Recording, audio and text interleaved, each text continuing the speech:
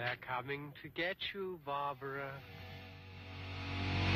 It has been established that persons who have recently died have been returning to life and committing acts of murder. The unburied dead are coming back to life,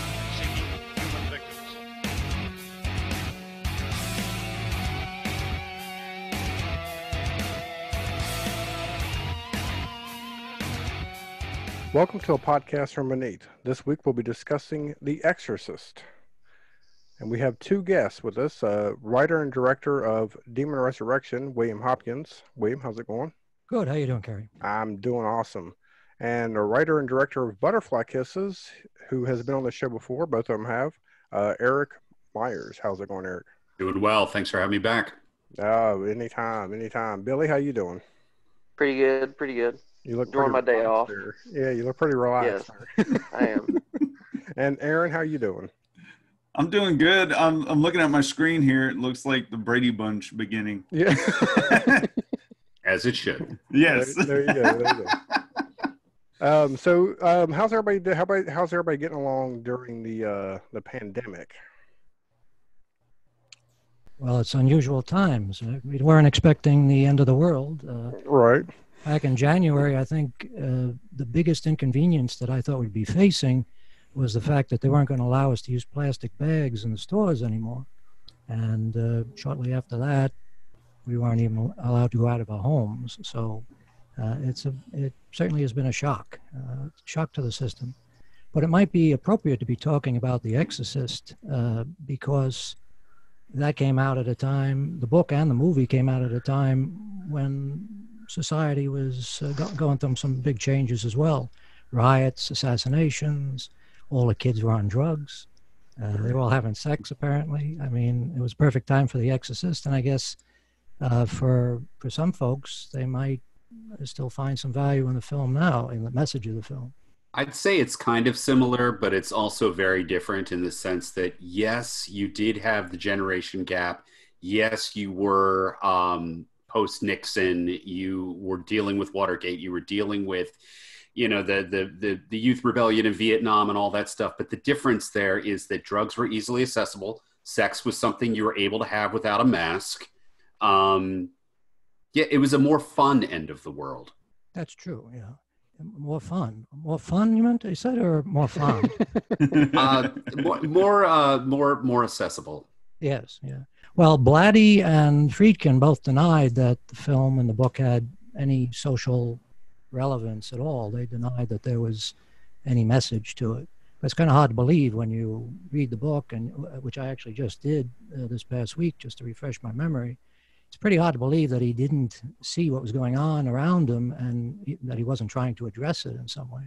Well, I I, mean, I'm- you you start the whole book and movie off with Ellen Burstyn's character, Chris MacNeil, who is involved with a campus crisis. Um, and you then segue into the generation gap. You have her daughter, um, who is becoming this essentially a juvenile delinquent, um, hypersexualized, using foul language, and really representing what adults were seeing in their draft dodging, long hair, you know, stoner kids at the time. It's it's it's very very transparent, and maybe Blatty didn't intend that. And I, I knew William Peter Blatty, and he was. You know, he was not approaching this story in any way as somebody who was trying to make a fun horror movie and he really wasn't interested in going for allegory this this was straight up uh, evangelism he wanted to scare people back into church Let me go back to the um, them saying that they didn't intentionally have anything. I, I think a lot of directors do that. I think uh, George Romero was famous for everybody he- for him saying that his dead movies didn't have any social commentary. But if you watch those movies, they they match up pretty well with the times that they were in. Do you think it? Do you think that directors? And we got two directors here. Is it just? Is it just a? They didn't want to be. You know, they just wanted to I- say they had the idea. I think in the case of Friedkin, uh, he was embarrassed. I think uh, because he was a Hollywood film director. He was one of the new Hollywood uh, directors, right? He came in with that wave of people like Peter Bogdanovich and Martin Scorsese. So he didn't want to seem to be uh, an evangelist for the Catholic Church. Uh, and I think that's probably why he sort of waved his hand at all those folks that were trying to um, uh, figure out what the movie meant. But it seems pretty obvious that, and as a matter of fact, uh, Mark Kermode, the British film critic, he's a big champion of The Exorcist as a film. He thinks it's the greatest film of all time. And he wrote a book uh, about the film, and he says in it that Blatty was actually telling his Catholic priest friends that they should help him with this because it would be so great for Catholicism to have this uh, story told. So he really was an evangelist. And to be honest, I think the reason why the film is so good is because you have a fellow who really believes the story. Right? He's re- really believes in demonic possession. He really believes in the power of uh, the power of Christ compels you. All that stuff. He's down completely for that. And then you have another guy, uh, Friedkin, who's a sort of uh, cinematic savant. He doesn't have any strong feelings about anything, but he knows how to make a really powerful and effective movie. So that when those two guys got together, that was all you, that was all you needed. It's I just watched the film last night, and you know I'm still in awe of how well, especially the first half of the film, which is usually not the part of the film that people are impressed by. But when you watch those scenes with the mother and the daughter talking quietly with each other, or the scene, the whole sequence where uh, Karras visits his mother, that is almost like documentary style. It's not surprising because William Friedkin was a documentary filmmaker before he went into feature films.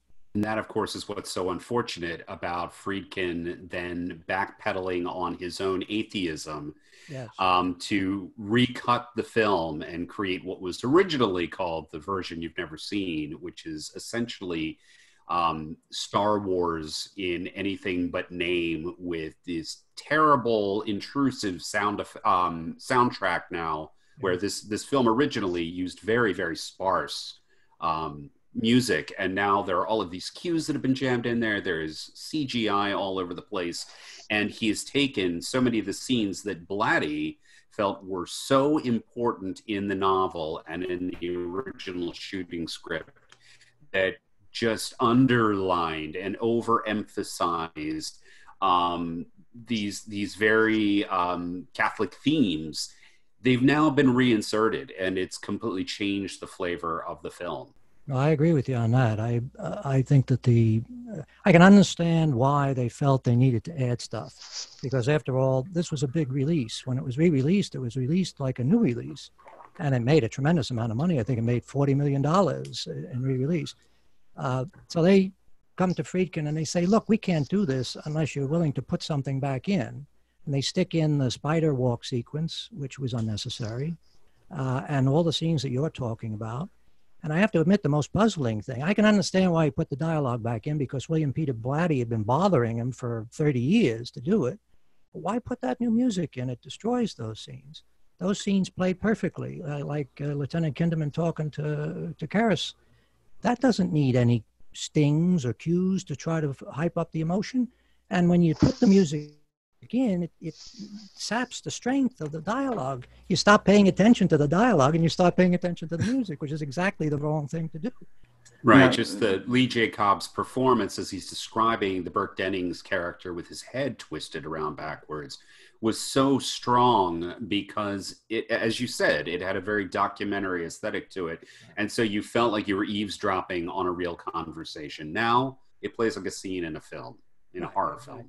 Now, do you think with with what you're saying, you know, the changes with the music and everything, you think those were, you know, people like, hey man, we got to do something different. We can't just have it like this.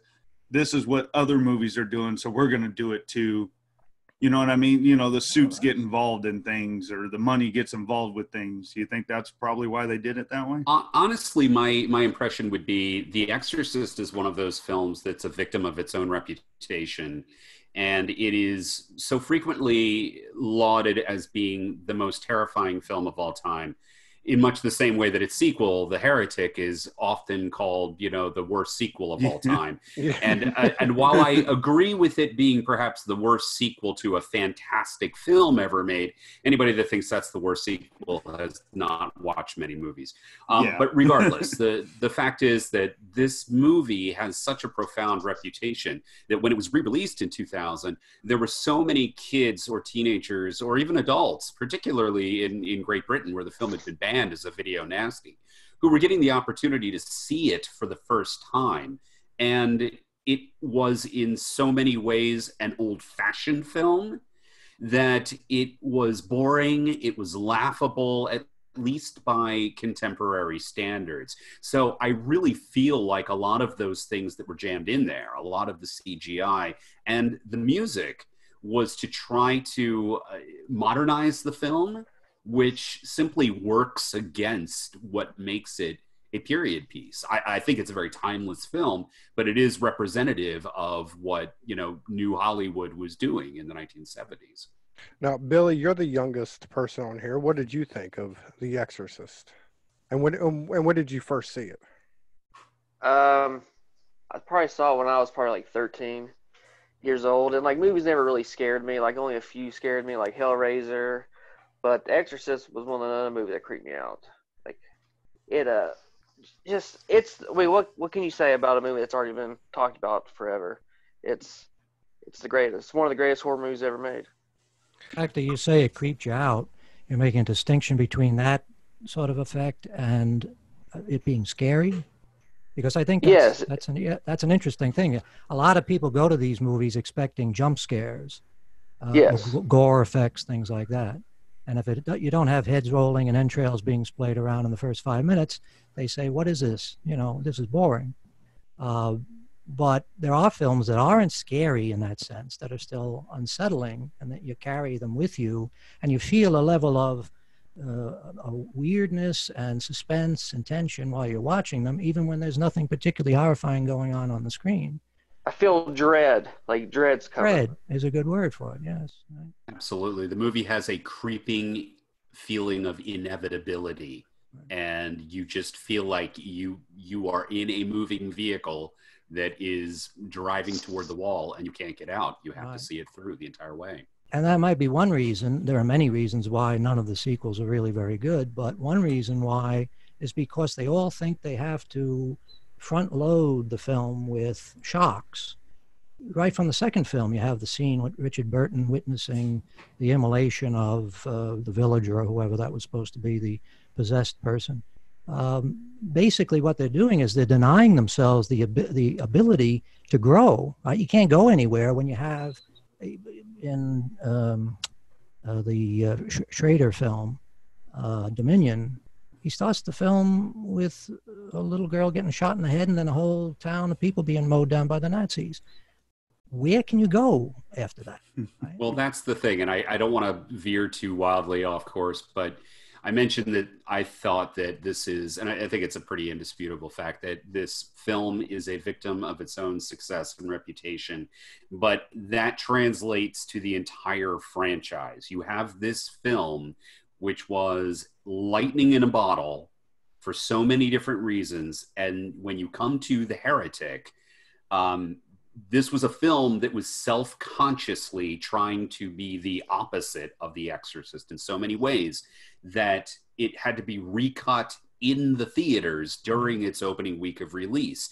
That had never happened before. And so then the third film is shot at which point you have the artist who decides well this is the story i'm going to tell and then the studio going no no we have to make the exorcist again because look what happened with the second one. And then you end up with reshoots and multiple versions of the film. And then you end up with two prequels where one of them is put on a shelf because again let's self-consciously make a different style film. And the studio says no it has to be more like the first one to the point where we then get a carbon copy of the same prequel directed by you know paul schrader's equal and opposite renny harlin.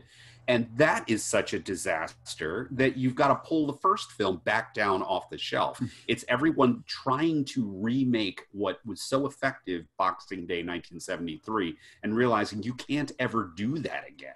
But you know, the uh, to a certain, I mean, I think that the sequels probably are uh, an example of the worst management of a property uh, that we've ever seen in, in commercial film.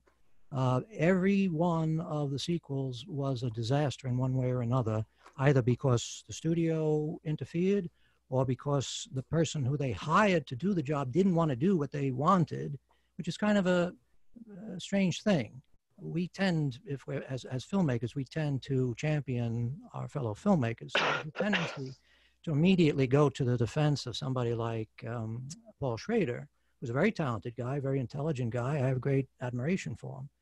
But surely he knew, he'd been in the business for years. Surely he knew what they really wanted, whatever they were saying. And he said, Well, I took this script that they gave me and I did the best I could with it, essentially. And I think he did, and he didn't do a bad film. There's nothing embarrassing about the film at all. But surely he must have realized that they were going to have objections to a film that didn't really in any way represent uh, a commercial product. Even he said, I think he might have even said it in your interview with him, that he knew that this was never going to be something that would be a blockbuster.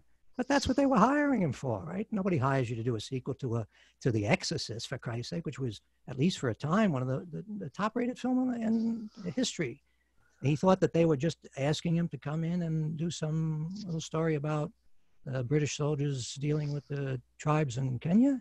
I mean, you know, and then he sutures on, which is what seems to have happened uh, uh, several times, right? I mean, the Third one, the studio says you have to have an exorcism, and he has to really throw. Uh, hello. Sorry. Paul, Schrader, Paul Schrader calling to tell me. uh, but I mean, he, he had to pretty much destroy his film to add in an, an, exorcism that they would find acceptable. And he should have seen that coming too. I mean, he's another guy had been in the business. He was in the business before The Exorcist, right? He was writing Shirley MacLaine movies. He knows how these guys think. And he also had the experience of The Exorcist too, right? He knew that that what a shit show that was. So yeah, we, we just recently covered The Exorcist three, and I that was that, yes. that, was our complaint was the the shoe you know this the shoehorned ending of you know well it's, it's yes. put the because when he originally was going to make it he did he wanted to be nothing to do with the Exorcist. It was going to be a, you know the standalone. Yeah. Well, he wanted to use those characters and take. Yeah, and you've got yeah. Of course, way. you got to get the name. You know, you got to get the name on there. I guess for to get people in in, in the seats. But uh, that was that was our only problem with that movie was the the shoehorned ending. Well, the issue with that really comes down to a problem of concept and. Um, you know, without trying to, without spoiling too much, I'm working on a on a big series of articles for Ain't Cool News, sort of detailing the history of The Exorcist Three. And Blatty, he opened up his vault to me, and he shared a lot of, uh, you know, earlier drafts of the script, shooting materials, and it, it was always an issue of concept. And that problem was that he never nailed a satisfactory ending um, whether it was his original pitch, whether it was then the novel Legion that he wrote, um, the original um, script that Morgan Creek originally signed off on, the shooting script, the revised ending script. Um, he never got an ending that worked. And it was always a great concept. It was always a great story but it never had a third act that successfully managed to tie up all of the narrative threads that have been running up to that point. And specifically for um, Morgan Creek, it never included an exorcism until he was forced to jam one in there. And so, you know, it, it, that that was always a great story in search of an ending. Correct. And the ending that he actually ended up with in the book, if I'm not mistaken, I haven't read it, just as Lieutenant Kinderman shooting uh, the Gemini killer. No, that was actually the original ending that he shot, which was incredibly anticlimactic. Um, yeah, and the be, yeah. the book just had the Gemini killer spontaneously dying. Oh, uh, it was it again. There was never satisfying. it never built to anything. Right. So, well, the changes that they insisted on beyond just having an exorcism also included uh, bringing in an, another exorcist, which is loopy in the movie. It doesn't make any sense that this stranger would be able to be walking into a, maximum security m- mental hospital. He just sort of coasts in there like he's uh, uh, you know, possessing divine power, and and uh, the business with working Jason Miller in that sort of confuses matters too because is it the Gemini killer or is it Father Karras? Uh, you know, who the fuck is this? Well, I do have to argue with with both of those points strictly because a lot of people never seem to understand how it is that um, Williamson's Father Morning happens to show up when he does. There is a very quick blink and you miss it moment where George C. Scott as Kinderman is on the phone calling Father Morning. He's asking to speak to the hospital chaplain because he has been informed earlier in the film that this chaplain has performed exorcisms before. So that that is set up. It's just it's so fast that it barely registers. And um, the the the other side is that I think that as many people who complained about the alternating visage of the Gemini killer, is it Jason Miller? Is it Brad Dourif?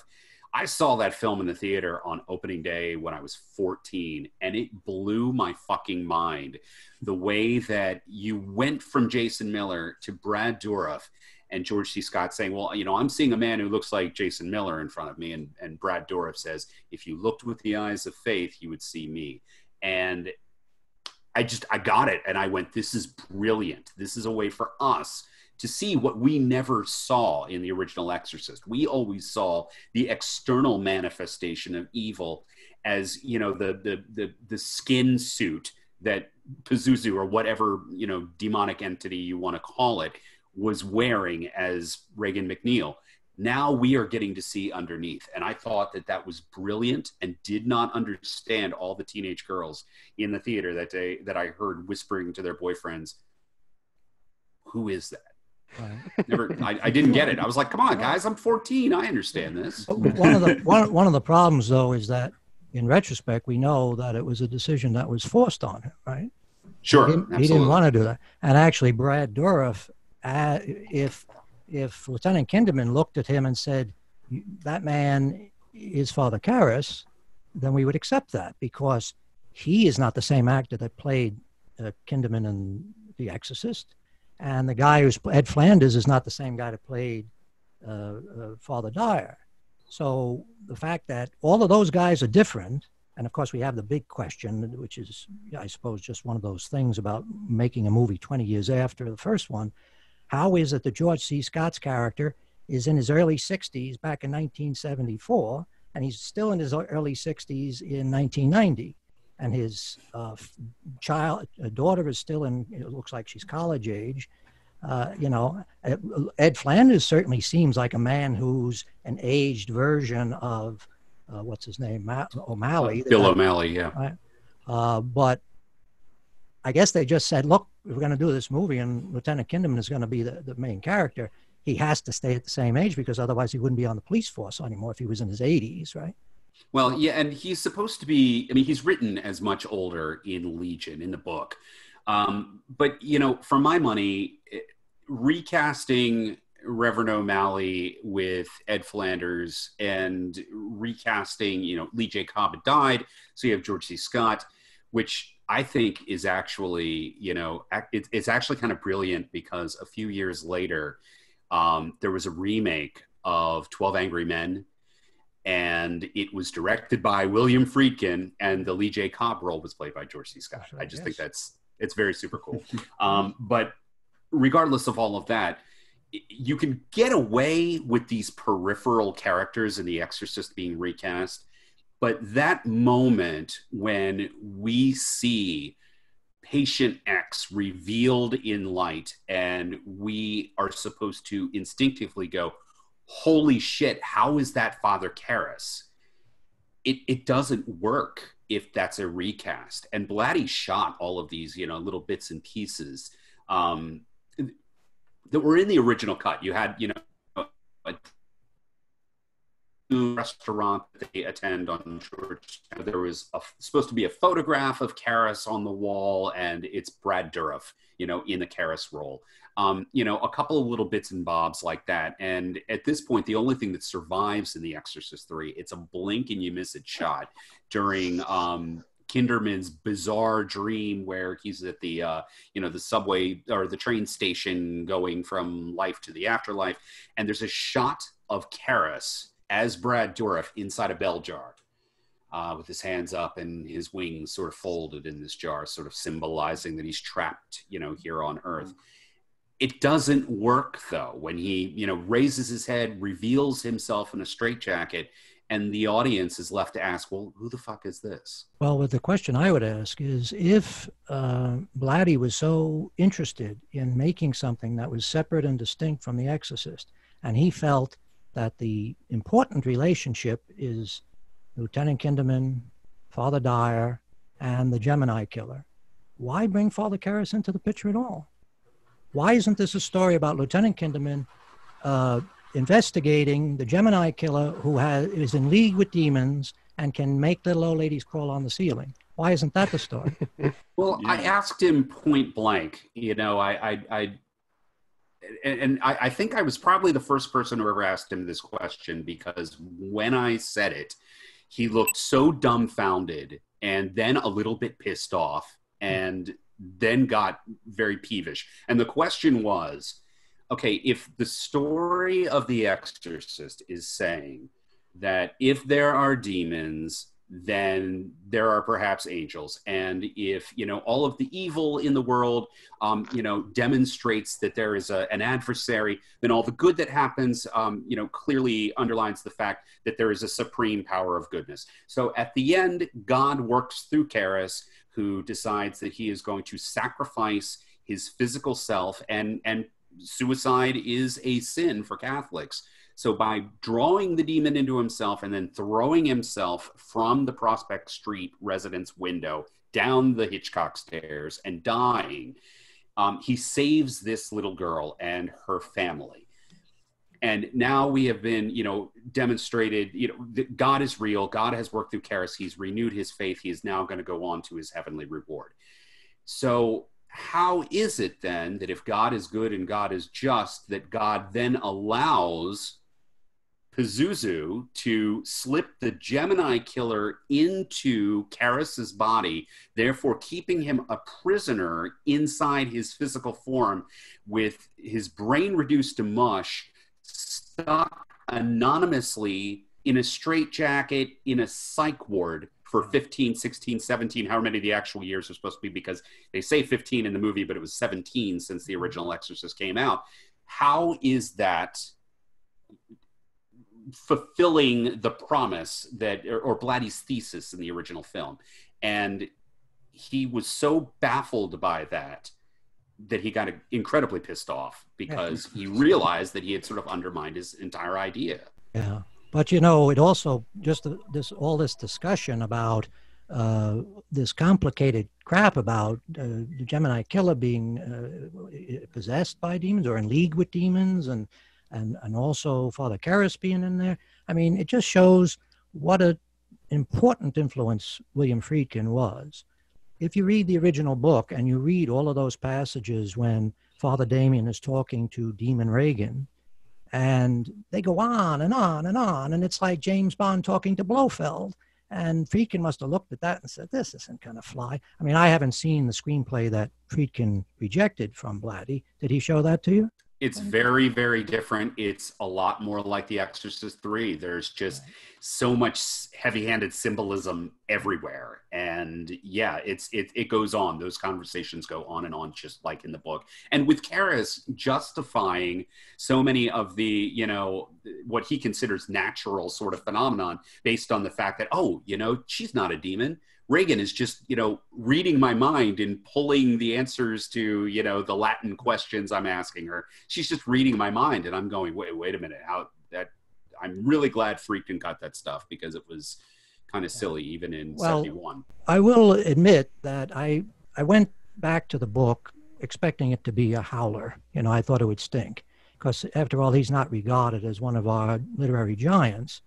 Uh, and in a way, I came up, uh, came along back with a different feeling. I have a respect for him as a writer because I think some of the things that he's doing are actually very clever, if you have the agenda he has. Sure. As an evangelist for an idea, he picked an extraordinarily sophisticated and clever way because he makes you, if you're even if you're a non-believer, he makes you come along with him and reach the same conclusion. He sets up, he has like pages of discussion of uh, different types of theories of why this might be happening. She's got a brain lesion, she's got uh, various psychological problems. And what he's doing is he's sort of building this bulletproof case for exorcism, for demonic possession and exorcism. He forces the reader to say at a certain point, yes, she's possessed by the devil. There's only one thing you can do, and that's exorcise her. And that's important because there's a lot, if they had just jumped to the exorcism right at the beginning, there'd be a lot of people saying, oh, wait a minute, she's not really possessed. Why don't you send it to the doctor first? Why don't you get a psychiatrist? Uh, so that was very clever of him, I think. He anticipated Absolutely. every argument against demonic possession, he anticipated and he put it to rest. But from my perspective, the value of the first film is that it's uh, a, a beautifully made film technically it's a very powerful film, and it can even make people who find Blatty's message to be, ugh, to, I still think it's a great film. You know, I mean, I find his ideas to be ridiculous and, and unsophisticated and backward, and even the idea in Exorcist Three that he's basically saying that serial, I, I assume this is what he's saying, serial killers aren't uh, doing horrible things because they are mentally ill. He's saying they got devils in them and that if you sat and chat with them, they'll come up with all this sort of cackling villainy dialogue. That stuff is, you know, that closes out of town as far as I'm concerned. And actually, they did a theater version of this in Chicago of Exorcist 3. I would love to see that. I would love to see how that plays in front of an audience because uh, that sort of heavy handed stuff, to, for me, I think that that's the stuff that the, the younger generation should be laughing at. I don't think they should be laughing at the first film.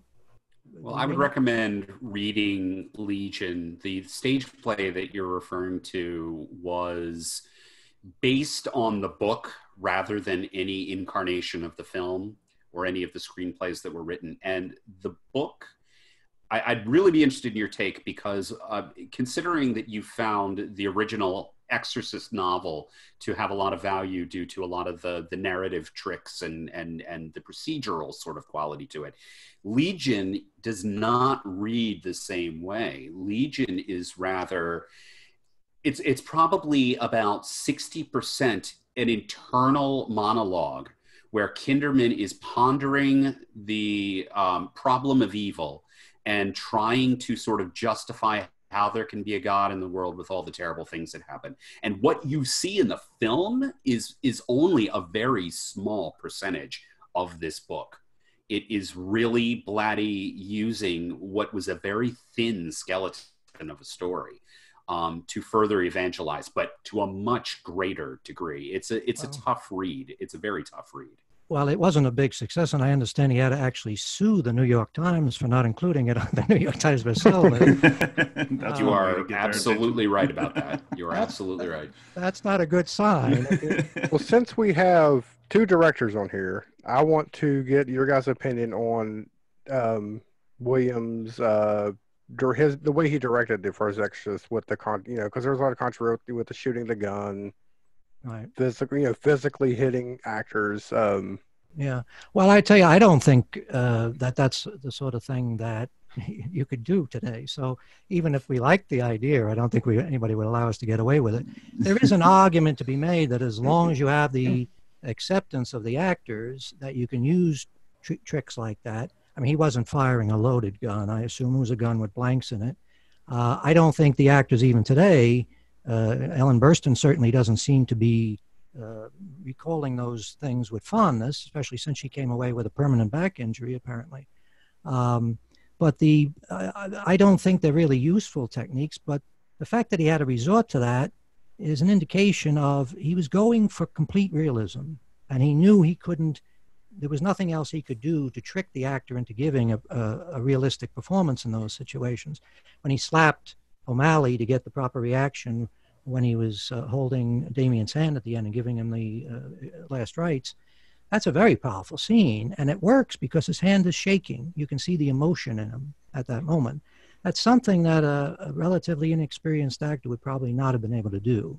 Well, so, I know that Jason Miller had complained about the gun because he thought, you know, I'm an actor, let me act. Um, Erik, what do you think about a director thinking, I need to help these actors along in this way and not just letting them act? Well, first of all, it's interesting that Jason Miller says, you know, I'm an actor, just let me act, because he wasn't an actor. He was a playwright, he was a director. And one of the brilliant things that Friedkin did was he cast these very, very talented, very experienced um, actors like Lee J. Cobb, and you know, Ellen Burstyn was still on the way up, but she she was and is a class act. Um, but then he populated this film with you know newcomers like Linda Blair, you know Reverend Bill O'Malley. Just you know, listen to his title. The, the man was not an actor. He he had Catholic priests playing themselves in this film, and for whatever reason, saw a production of that championship season that um, Jason Miller had written and directed, and upon seeing this, decided he wanted the guy sight unseen who directed this play to play Damien Karras.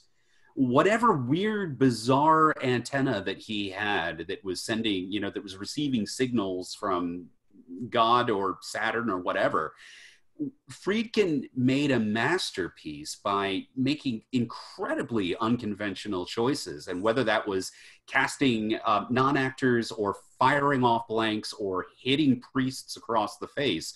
I mean, it was it was the wild, wild west of filmmaking at that time. It, it, was the collapse of the studio system, and you had Friedkin and De Palma and Scorsese and Coppola and uh, Lucas and Milius and all of these film school guys who were coming in and breaking all the rules.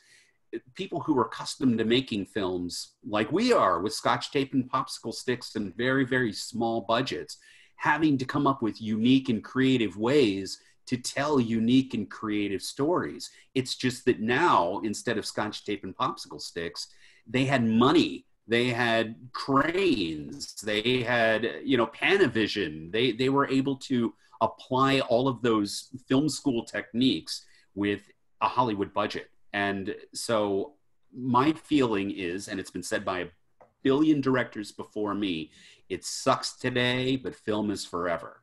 And when those actors and when that crew signed on and said, we're going to be working all day for months and months in a refrigerated set, um, and we're going to be getting paid for it. Uh, I mean, I, I don't have to like Friedkin personally, but the the end product really speaks for itself. Yeah, and and he isn't known as being a particularly lovely man.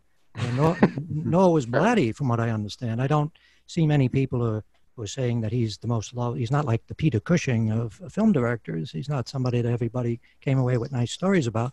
But the fact is, uh, while we would hope now we would find better ways uh, less risky ways than firing a gun on a set. Even a gun with blanks is dangerous. Uh, we could find, we could take that idea and find other ways to maybe uh, get a surprise out of our actors or put them in the proper frame of mind to give them the right emotional uh, cues.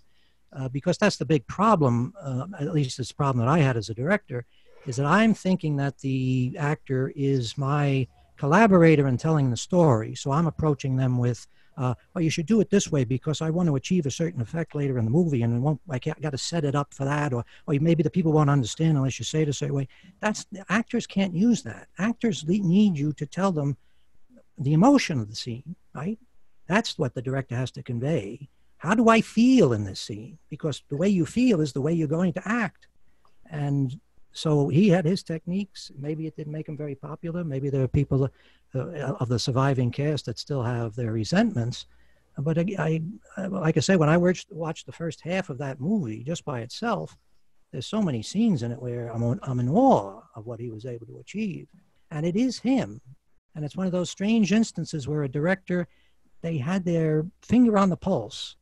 And then with the very next movie, it was just like, well, they went a step too far or they they lost their way, and he never made, as far as I can see, a film that uh, comes anywhere near The Exorcist. Uh, Billy, let me ask you a question. Whenever you said that the movie didn't scare you, but it, I guess, creeped you out. Yeah. When when you watched as a kid, did you ever think I could actually be possessed? Like, did you think that that part of it was real, or uh, you know? No, no, not really. It just made me feel very uneasy. Just it was it was kind of like disturbing to me. Like the probably because of how the makeup was and the voice, her running down the stairs all backwards or whatever. That creeped the creeped the hell out of me. Aaron, what about And, you? like- Whenever you first saw it, what did you? What were like your first initial thoughts on it? Um, man, I, I, I just, I just in love with the. Uh, He's cutting it out there. You're cutting out, man. Yeah. it's one of my favorite um, horror movies. Yeah, you were. Am I you were- there? yeah, you were cutting Hello? it out there. Um, Oh, okay. Well, I'll say this: like, I don't remember the first time that I seen it, um, but I know I seen it as a kid, and then of course I I remember watching it again when they come out with the I guess what you called it the version you never seen. That's what Now my qu- yeah now my question is in the original cut, did they have the flashes of Pazuzu. They or was that ju- or was that just in the version you never seen? they yes did and no. Yes and Like no. in the kitchen, I remember seeing the no, one not in on the the kitchen. kitchen. No, that that that's an example of the horrible things that he Okay. added in. I mean, to me, that's ridiculous, right? The devil is not into branding. He's not going to put his face on a refrigerator. Uh, the the Pazuzu face or the demon face was they people called it a subliminal cut. It isn't really a subliminal cut because you can see it. But those flashes at, at various points in the movie, when it's over people's faces, like I think there's a brief shot of the a, brief, a brief glimpse of the Pazuzu face over the the wino in the subway. Am I right, about that? Erik? No, you only see you get the flash during Karras's dream about his mother um, calling for help and descending into the subway, and Which then that, that, was a creepy scene. Just her, just her standing in the street there to me was creepy. That is the most effective nightmare scene that I have ever seen, and a lot of that has to do with the sound design and the way that all of the, you know, ambient sound is very much um, pushed into the background, and in the foreground we're hearing Jason Miller breathing and mumbling in his sleep. It- It's it's incredible, uh, but you see that flash during his dream of the the death mask face, and then that shot is revisited later on during the exorcism. It appears over Linda Blair's face. Um, but all of the other things that you're referring to, there's a shot um, during a, a previously deleted sequence uh, where Regan is receiving her first medical exam. It appears there. Um, the shot where it appears in the kitchen over Ellen Burstyn's shoulder. There, On, some on of the the, on the top of the oven, is it? On the on yes, Yeah, I believe yes. so. Yeah. the devil has to find better places to put his face. You know? And here's the weird part that there were actually, and this is another Star Wars special edition sort of illusion because when the film was released in 2000 in the cinema and then was released on DVD, uh, there were all of these changes and all of these subliminals that have been added in. And then when it was issued for the first time on Blu ray, and unlike George Lucas, William Friedkin allowed both versions of the film to coexist. The version you've never seen has now had some of those elements removed. I noticed So that. you, yeah. you can only see them on the 2000 DVD, but it, it, it was very surreal. Um, I watched The Exorcist with Blatty, and he was not aware of some of those elements that had been added in. There was, in particular, there was a terrible shot where Ellen Burstyn opens Linda Blair's bedroom door, and mm-hmm. you get this flash. It looks like a glow in the dark uh, Spencer's Gifts uh, poster of Pazuzu's face on the back of the door. And then, as there's a wide shot, and we're seeing down the hallway out the bedroom door as Ellen Burstyn leaves the room and then goes down the stairs. And in the corner of Regan's bedroom, the statue from Iraq of, of, of Pazuzu appears in the corner and then fades away. And I had to point those things out to Blatty. He, he didn't know they were there. And I Well, was it's, like, it's it's too bad you did. I can't imagine that eased his mind. I, yeah, yeah, yeah. I was like, I should was have like, let yeah, him but they're, pass without knowing these terrible things. I was, I was at least relieved to be able to say, well, but they're not on the Blu-ray now. Well, So I, I noticed that some of the things came out because that face on the wall had always bothered me. I, I thought, God forbid, uh, Re- Regan had had like a hang in there kitty poster on the wall. We would have seen the Damon. but the, um, the I noticed that there was one edition on the Blu-ray that I hadn't seen before. Maybe I just didn't notice it. But seeing his mother's face on the window just before Yes. he jumps out, that's new, right?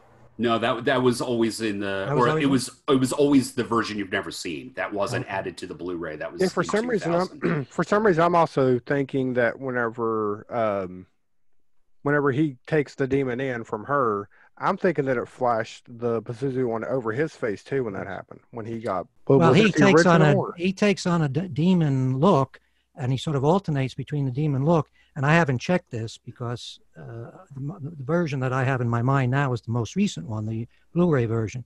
It seems to me that in past versions, he jumps out the window when he has the demon look. The idea being that the demon is in him, and, he, and then he jumps.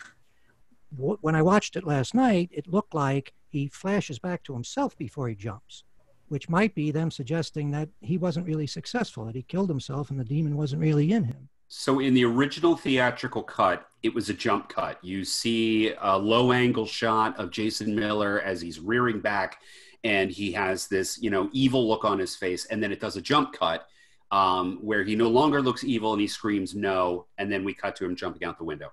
And that was on that was the original theatrical presentation VHS DVD when the film uh, had its 25th anniversary release in 1998 that jump cut was smooth. Right. The the transition was changed, so it looks more like a sort of like a morph, Right. and that's the way that it's been ever since. But he Sure. still, in, in both cases, he was, he didn't, was not in the demonic, he, he, he was not in the demonic state when he jumped.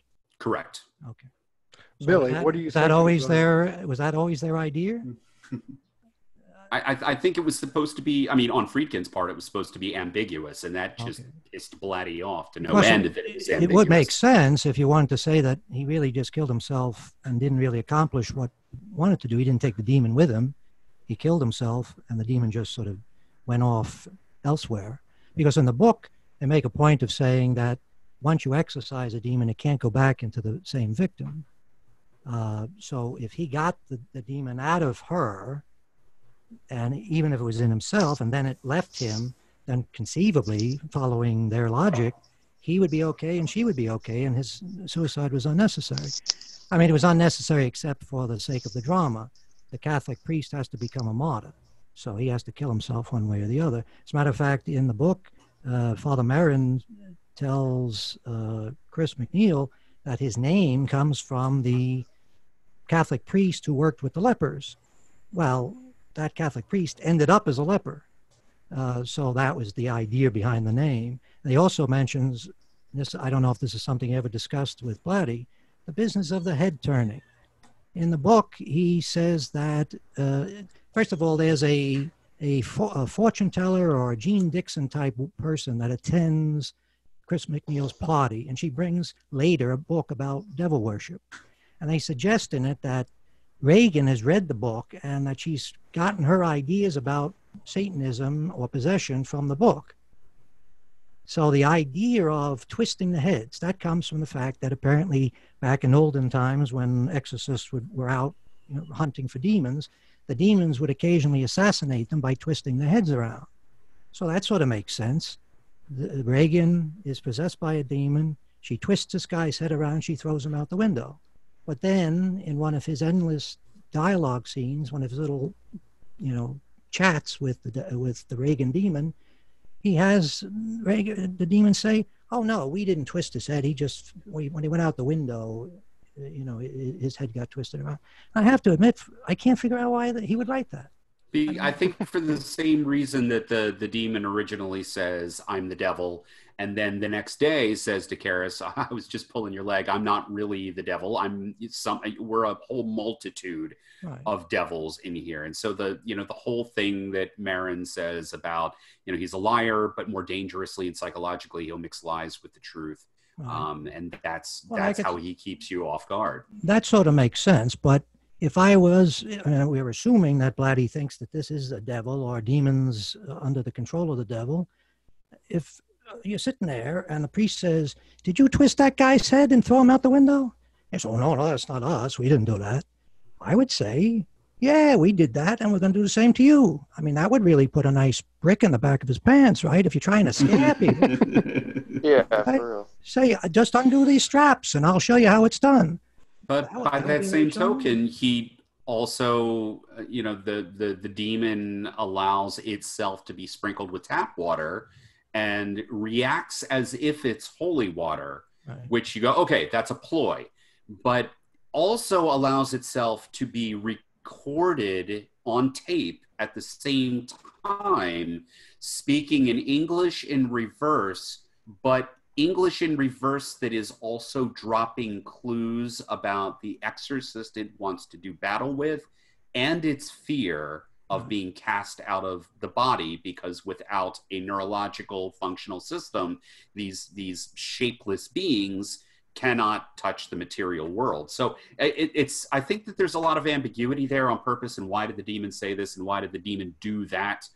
Um, that has us here you know 40 some odd years later talking about it Well, that's true enough. Uh, I, but I have to admit, I'm glad that he, that Friedkin cut that stuff out because absolutely uh, yes certainly wouldn't have made the more the film more effective. It does, and but some stuff that I would have loved to have seen along the lines of that ambiguity you're talking about. And the you mentioned the the Mary Jo Spencer, I believe her name is the girl who brings the the book on demonology over. It also fills in some blanks that the film does not fill in, such as the desecration in uh, Dahlgren Chapel, which is you know right across the street. If you've ever been to Georgetown, the university really is right there within walking distance, and there were other incidents that occurred in the book, such as you know human excrement being found on the altar, and you know um, profane messages that were written on altar cards um, using Sharon, the the governess, her her typewriter. All these things that indicated that Regan was slipping out of the house after dark and doing these these things that Kinderman was investigating. And for my money, the one allusion to that is the most frightening scene in the film, and that is when Kinderman is watching the house from his parked car and looks up at the bedroom window, and you get this shot of a shadow gliding past the window, which in just one two second shot suggests she's she's playing possum. She can get out of those straps anytime she wants Right. What's happening when the house is quiet at night? Is she sneaking around the house? Is she leaving the house? What things is she doing? That to me is the most terrifying thing in the film. Yeah, that was a that certainly was an effective shot. Uh, the uh, the spider walk thing, I've always sort of objected to because I think it breaks one of the rules of the film, which is that the devil doesn't want to take her around the house. He doesn't want to take her around the neighborhood because if he did that, he would be forcing them to take the decision of putting her away. He Sure. prefer, he prefers to keep her in the room and let them come to her, to her, right? See, I think that scene there, that scene was more shock value. I think it kind of it didn't fit like the narrative of the movie. It was just there for it's shock out of the audience. out of style of the rest of the Yeah. film. you know, because a lot and of it's people say, clearly "Oh, not linda blair as well Yeah. Oh, correct. Yeah. She has this sort of sinewy neck that Linda Blair certainly doesn't have.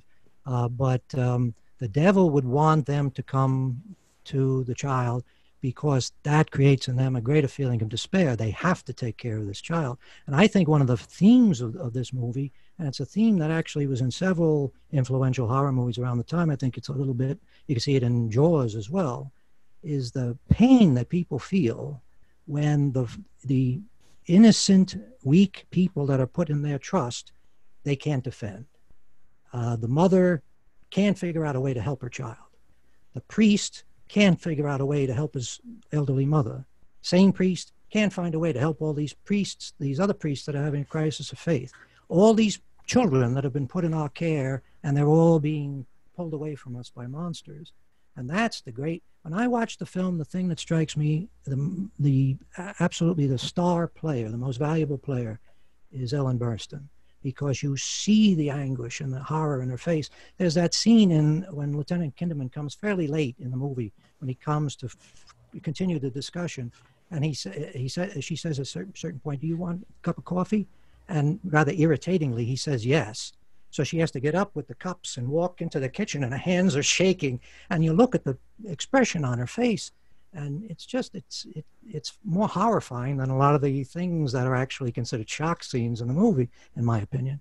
Uh, uh, Peter Blatty's William Peter Blatty's problem, I think, is that he had this particular thing that he was pushing all the time that his idea of heaven is sort of an all male world where everybody will sit around and uh, quote, quote uh, S.J. Perelman or quote the Bible or quote uh, old Marx Brothers movies. They'll have some scotch, we'll smoke, and the women will all be in the kitchen, right?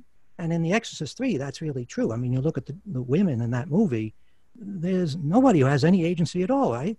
They're either weird creatures like that nurse with, who can't put on lipstick, Mm-hmm.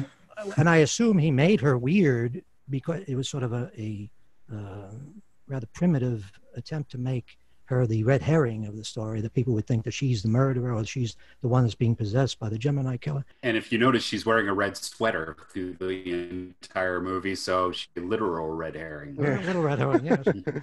and the and the other women in the film are either his uh, uh, family, and they're always seen in the kitchen. It seems.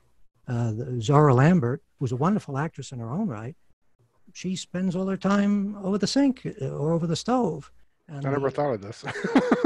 And Zohra Lampert is dubbed.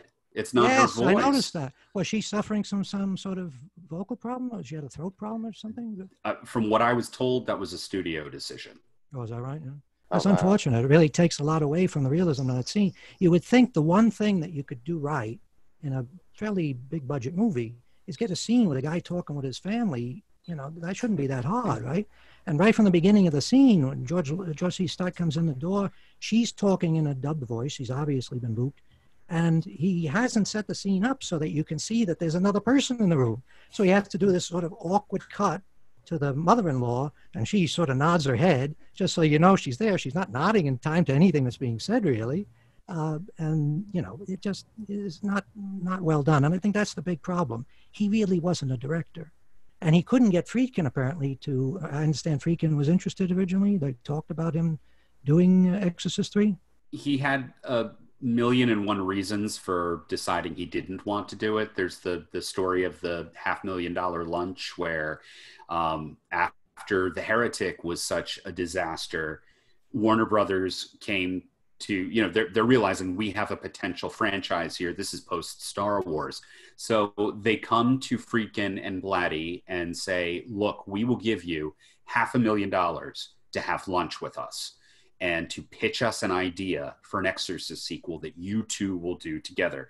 If we like it, boom. It can be one sentence, it can be a, a two hour long pitch. If we like it, we'll sign you right there. And if we don't like it, you get a half million dollars to split and we walk away.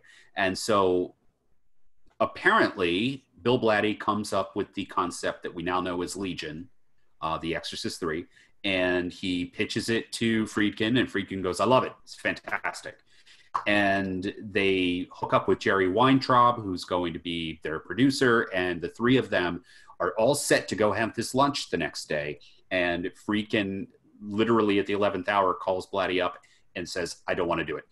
And he cited all these reasons. He was like, "You know, I had done cruising, and cruising was." you know was very subversive and that was a bad experience for me and jason miller has you know a, a an escalating drinking problem and it, it, seemed to really come down to the fact that again uh, victim of its success he knew that no sequel was ever going to be the exorcist again and so he backed out and according to Blatty, there were numerous times over the ensuing decade where Blatty would go back to Friedkin and go, Hey, are you sure you don't want to do this? Because it seemed that the only way that any studio was going to go with Legion as a film was if Friedkin was going to direct it. And Friedkin always said no.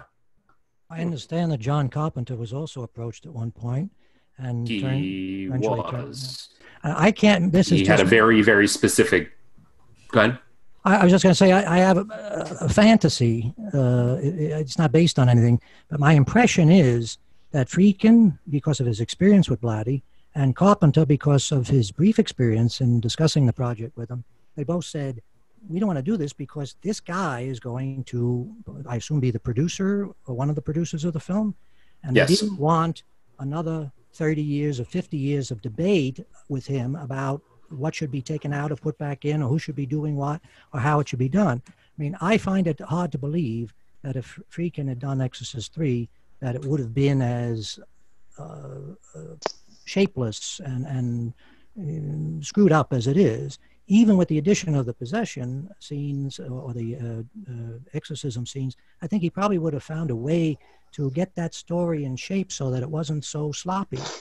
And the other thing about Blatty is he is a guy that uh, is an old time Hollywood screenwriter. He was famous before The Exorcist for writing the screenplay for A Shot in the Dark, a Peter a Peter Sellers Inspector Clouseau movie. Right? yeah. Uh, his other claim to fame is he apparently did uh, some features with Shirley MacLaine. He knew Shirley MacLaine. Shirley MacLaine apparently was interested at one stage in doing The Exorcist. He based Chris MacNeil on Shirley MacLaine, right? Right. She must, she must have taken as a great compliment. And it's MacLaine's daughter who's on the photo, uh, the right. cover of the original Exorcist uh, novel. I think I have it here. That's she's hidden behind the uh, the thing there. Oh, that's her. She, I don't know. I don't know why he thought he could get away with that. But I don't know if she ever sued him or anything. But I mean, uh, he likes old time Hollywood banter, and all of his scenes, uh, including those wonderful scenes with C. Scott and Ed Flanders, where they play it perfectly because those are the guys to do that. But it doesn't. It's not tonally correct for a movie of this kind. I mean, he's making us love these bantering old men like they're the Sunshine Boys, and the next minute the guy's got his head cut off. For Christ's sake, that's not the way a movie like this should work. That's Well, the I- the I- if- is here, and then they're there, and then they're here. You know. if you know anything about Blatty's problems with the original film, the original Exorcist, you know, he he had issues from, you know, prior to the film being released because apparently the version that we now know as the version you've never seen was the original assembly. And if you know anything about filmmaking, which I know you do, uh, your assembly is not the same thing as a director's cut and it's it is longer it has so much superfluous content and when friedkin decided to chop those 11 minutes out blatty became such a pain in the ass being a producer as well as the screenwriter on that project that friedkin had to have blatty um, barred from the editing suite. And he wasn't allowed in. And when the film came out and audiences were misinterpreting the ending, due in part to that jump cut you mentioned, and were believing that Karras was not taking the demon into himself, asserting control of his own body before he could be used to murder Regan and commit suicide by way of the window.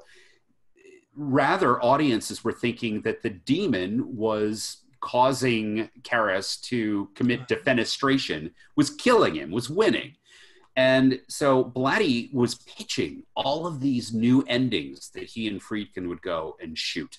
I And some of about- them- I, I heard about the one with Karras walking up the stairs like Jesus passing his apostles on the street.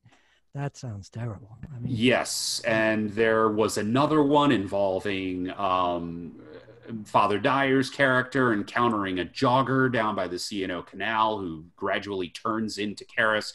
In fact, Blatty was trying to get The Exorcist remade as a Fox miniseries in the late 90s. And I've read the script for that, and the ending is even more maudlin and involves a um, Dyer receiving a heavenly lemon drop because lemon drops are his favorite candy. Uh, it, it was it's it, it was not network TV ready, and I think what ultimately caused Blatty to pull the plug was the fact that Fox was trying to insist on Queen Latifah as Kinderman. So at any rate, the point is that that yes, Blatty was a guy who kept wanting to go back to that film and kept wanting to add new content and clarify things. And if you've ever seen his directorial debut, The Ninth Configuration, Oh, that is also a movie that exists in about six or seven different cuts because he kept recutting the film. So he, yes, he would have been a pain in the ass if another person had been directing The Exorcist 3. But what you see with Carpenter is the exact same thing you would have seen with Friedkin. Because what Carpenter told me is he's like, oh, well, look, you know, I, I'm- I'm looking at the script and going, you need an exorcism at the end of The Exorcist 3. And Carpenter had these great ideas for, you know, he was like, I want to see um, representation of the demon underneath the skin. So I want to see during the exorcism what looks like snakes or whatever crawling underneath the skin, uh, like there's another face that's that's trying to get out. And their brief conversations it made it very apparent to, to, to Carpenter that he would be directing the film basically in name only because the deal that was set up with Morgan Creek was um, if it was going to be Blatty's name on the poster and it was going to be based on Blatty's pedigree and his novel, then he was going to be the screenwriter and he was going to be the producer and he was going to get final cut. And yes, that's why you end up with this film that seems to be looking over its shoulder at what Blatty had done prior to The Exorcist, because The Exorcist, in many ways, killed his career as a comedy writer. And so it was almost It like he was trying to say to everybody, I'm using The Exorcist 3 as a backdoor pilot for um, resuscitating my career as a comedy writer while still putting it in a horror sort of Well, you know, those scenes delivery are system. those scenes are charming, and I think uh, Gary, uh, uh, when you discussed this, uh, I think there was general agreement that th- you love those scenes, right? Everybody Yeah, said- the the scenes between George C. Scott and I keep wanting to say Ned Flanders, but I know it's not Ned Flanders. Um, I I could have watched an entire movie of that, just those I, I two wish, characters. I, I wish it had been that, right? I mean, that would have been wonderful. Uh, but the the unfortunate thing is, and this is true with the ninth configuration as well, that sometimes people who have, you know, it's what what's the the Dunning Kruger effect? It's the people who don't know what they know, are certain that they know it, or whatever. They don't know what they know, uh, what, what they don't know. They're ignorant of their own ignorance. And he seems to be completely convinced that to make an effective horror movie, you have to have these this sort of like opening sh- uh, show, this little comedy routine first. That that's a way to get the audience to sympathize with the characters, to make them lo- lovable, and to have this sort of banter. And to be honest with you, as a comedy writer, some of that banter is pretty stale shit. in that one scene with a nurse, another sort of brainless woman. Uh, that's they have one conversation where a sort of brainless woman approaches them as a waitress, right, uh, and asks if they want a drink, and then they have a they're in the hospital and a brainless woman comes in mistaking the room. She's in the wrong room. She's looking for Schwartz, and that sets the line of jokes off, right? Oh, Schwartz, uh, you know, May the Schwartz be with you. Ada Schwartzman. Isn't that isn't that terrible? And wasn't that, wasn't Spaceballs already out at that time? Three years. yeah. And he and he tries to do two on a match. He says, "Go in peace, my child, and then may the Schwartz be with you." Any editor, I don't know who edited that movie. Maybe he did. Any editor would say, "Bill, one." I'll get away with two. And it doesn't even make sense that he would say, uh, uh, "Go in peace, my child," because the whole point of the scene is she doesn't know he's a priest. If she knows he's a priest, she wouldn't be calling him Mr. Schwartz, right? So it doesn't make any sense that he would use that gag. He wouldn't get a response from her. She would just think he's a crazy old man. Well, I got to throw out there, not to cut you off, but Blatty fired the original editor. Oh, yeah. He, he fired the editor of the film and he brought someone else in to do it at the end. So you And- mean our, our chance of having May the Schwartz be with you cut out was lost when that. I I believe it was, and he he in fact one of the the the beliefs that the editor had was that the reason he was fired was the fact that and and the editor is very very generous.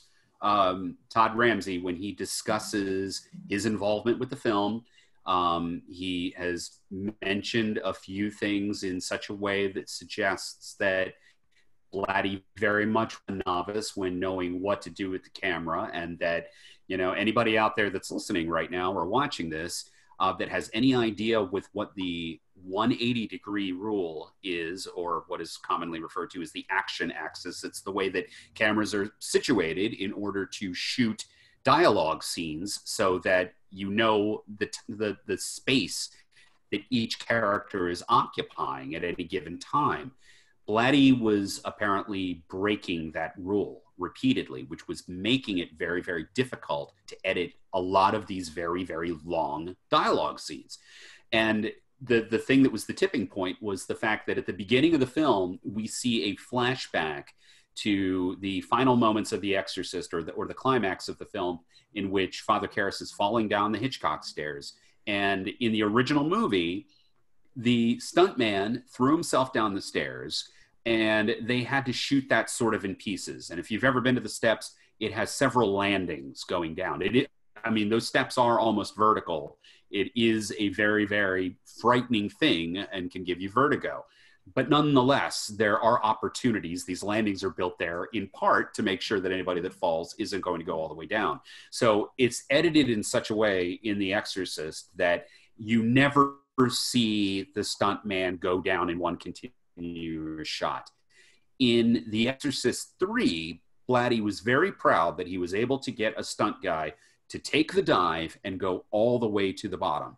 And they linger on a static shot of the guy rolling down. And it, if you're looking and paying attention, it becomes a little bit obvious that w- what you'll see done for you know comedy and something like the the Princess Bride, where the the stunt people are clearly propelling themselves down the hill.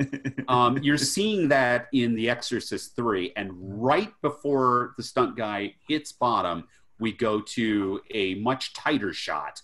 And it's also apparent that the stunt guy is covering his face as he's going down because he is not Jason Miller. Right. And that pissed Blatty off so much that his beautiful one take master wa- had this one second or one and a half second insert at the very, very end that that was what caused him to fire his editor. Well, Now I want to go back to because I had some thoughts today about the original, and um, kind of two things. So, like, if this movie had came out today, you could easily say that the meta- that it was a metaphor for, let's say, mental illness, right?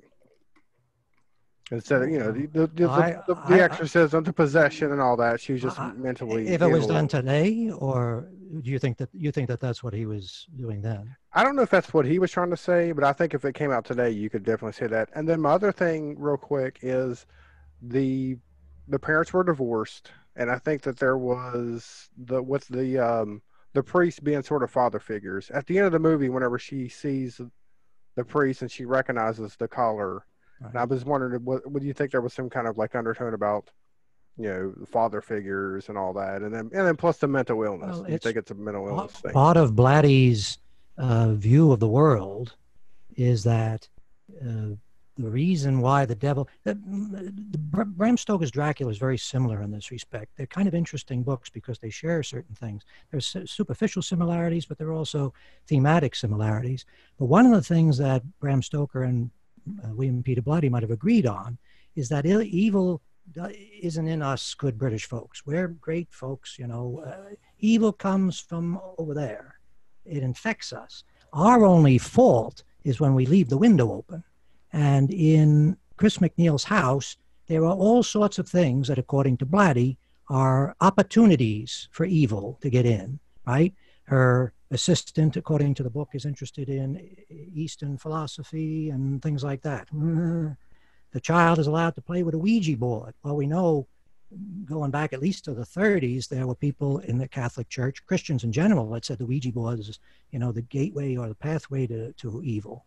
Uh, Ouija board, incidentally, is Ouija is owned by Hasbro. Right. Mhm. So there are some folks who got, you know, pretty screwy, screwy ideas about this. But in, in his, he was right to put that in because he was doing this sort of slow uh, stepping towards the idea of uh, uh, the shock scenes, the the uh, obvious uh, instances of demonic possession. You couldn't start that at full force. You had to do little things. Uh, apparently, the rats in the attic, right? That's something everybody's had the experience with. So you say, okay, well, that's like a first little step. Something's funny, fun, funny is going on. We're hearing funny sounds. Then the next thing is the business with the Ouija board, the business with her candle flaming up when she's in the attic. And I thought the Ouija board, uh, the planchette moving away from Linda Blair, and the f- uh, candle fla- flaring up, those were uh, interesting because it seemed like the filmmaker was allowing us to see stuff that the characters were sort of ignoring. Maybe they wanted to ignore. If she had been in the attic and the f- flame from the candle had practically reached the ceiling, she would have stopped and said, "What the fuck is going on? There's something strange." yeah, I was What he does- I would have left as- right then and there. what right what he does very cleverly is immediately have her distracted by Carl coming in the attic and so in her mind she's she's not even going to think about what happened with the candle. She's thinking, oh, it must be just because I was scared by, by Carl suddenly appearing. And the business with the planchette is very obviously moving by itself. And she chooses not to see that.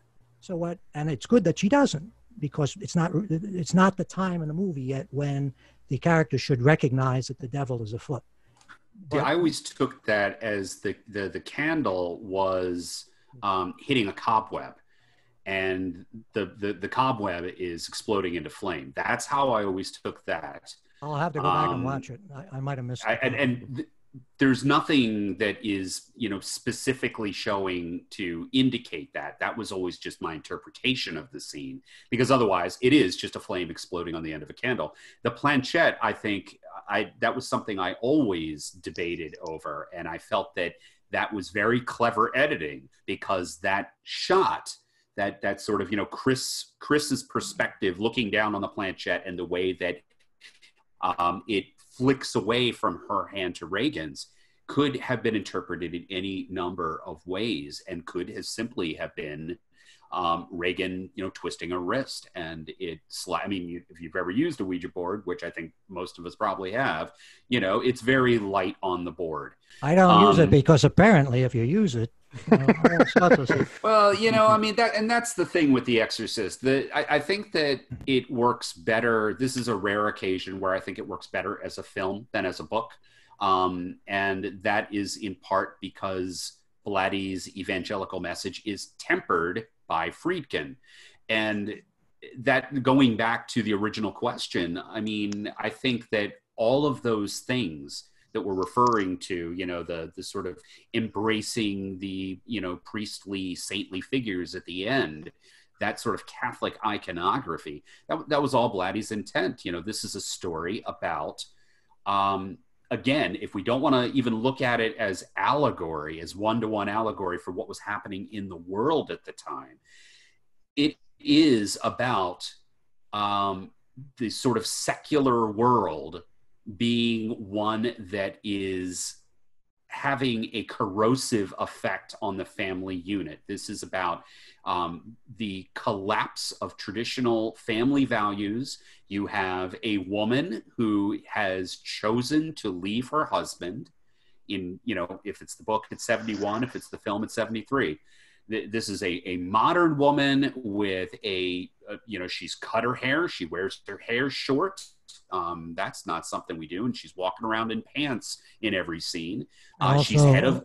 Also in the book, she's just getting ready to direct her own film. She's getting ready to direct her own film, and she has. We don't allow that. she is the head of household. She's not having to take money from her ex-husband. She is fully self-supportive, and she has hired another woman to live in the house and teach her daughter instead of being there. She's not cooking meals for the family, she has servants to do that. And she's working all day. She's putting her career first, and her daughter is essentially um, metaphorically or or literally raped by an invasive outside presence and the only way to save this family is to turn attention back to where it should have been in the first place. And that is the church, that is traditional religious values. And at the end, um, that recognition, that, that embracing of the Catholic iconography and religion's place, its importance in our world that that that's Blatty's message, and it's not one I get behind, which is partly that's, why I prefer the film. Yes, and and the that time, that period in film history, most of the other films that were really uh, critically and commercially uh, well received, all sort of took the God is dead position. Uh, for Blatty to come along and and give this very message to a lot of people that evil isn't in you evil comes from outside, that's something that people were ready to embrace. And it's, it's, it's worth noting that apparently after the success of The Exorcist, uh, there was a tremendous influx of men signing up for the priesthood. Um, I don't know if that's a good thing because priests, guys signing up for the priesthood with the expectation that every day I'm going to be battling the devil instead of doing the sort of miserable shit that priests probably have to do, like sticking a dollar bill in the mm-hmm. a wino's pants pocket in the subway, that leads to bad things. In a way, you could say that The Exorcist is the work of the devil, as some evangelists tried to claim at the time, because it led people in the wrong direction. How many, how much of the satanic panic of the 80s is due to movies like The Exorcist and The Omen and Rosemary's Baby? Rosemary's Baby, I'll leave on itself because that's a sort of social satire. But still, those ideas that witches and cultists are among us and we have to protect our children, that's why we got the McMartin preschool uh, situation, right? That's And- absolutely why we got the Satanic Panic because you see all the copycat films in part, uh, not just The Omen, but all of the you know the spaghetti um, demon films, uh, all, you know the black exploitation ones. Yeah, you you had all of these you know based on true events Right. books that were coming out and then being turned into films. You had opportunistic people like Ed and Lorraine Warren who were going to these gullible families who couldn't afford Mhm. their their mortgage and said, "Okay, we're going to turn your house into a haunted house, and it's going to be based on a true story, same way The Exorcist was based on a true story." And then you end up with all of these films and and you know all of this content that's out there. It just none of it has Blatty's sort of message, whether you approve of that message or you don't.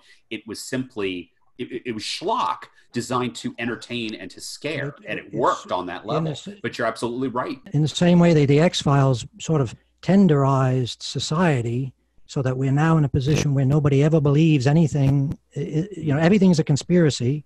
The government Sure. is always in the wrong. All those guys black, driving around in black cars, they're all controlling the world and they're doing it apparently to sell us out to aliens. That whole thing is the result of these movies and these TV shows. And I can't think that William Peter Blatty was pleased to hear that The Exorcist 3 was like Jeffrey Dahmer's favorite movie. Right. yeah, exactly. And I think that says more, and it and it brings it right back around to Blatty's intent. Human beings are in search of meaning and purpose in what many would argue is a meaningless and purposeless existence. Um, we are searching for destiny. We are looking for signs in the sky. And there are a lot of people who could make the argument that religion and belief systems exist to give us some sort of purpose where otherwise there is none. And so for people to be finding, you know, i- i- if, if it's pareidolia in your entertainment and you're watching movies or watching TV shows and that is feeding your belief system, um, then you are using entertainment for the wrong reasons. Well, that that may have been that, that was the idea that he expressed to you as his uh, sort of philosophy on these things. No, I mean your interpretation? That's my personal interpretation. Um, he was he was proud of the film, but I think he was also a bit embarrassed by the film. Um, embarrassed by virtue of the fact that it seemed that audiences were rather than running to their nearest church to be saved um, and baptized, they were instead wanting more of that roller coaster, that Right. experience that was The Exorcist. Well, I remember seeing The Exorcist when it came out. I may have, like yourself, seen it on, on its opening weekend. And I remember the reaction of the audience coming out of the theater. And it's kind of like the reaction of the audience coming out of the theater in the movie after they, Lieutenant Kinderman and, and uh, Father Dyer see the movie. That sort of uh, happy look on their face, like nothing happened. Well, we, we got to get, you know, home and have dinner. No, you look at the reaction of people coming out of the theater after The Exorcist. It's like they'd just been hit in the head with a ball peen hammer.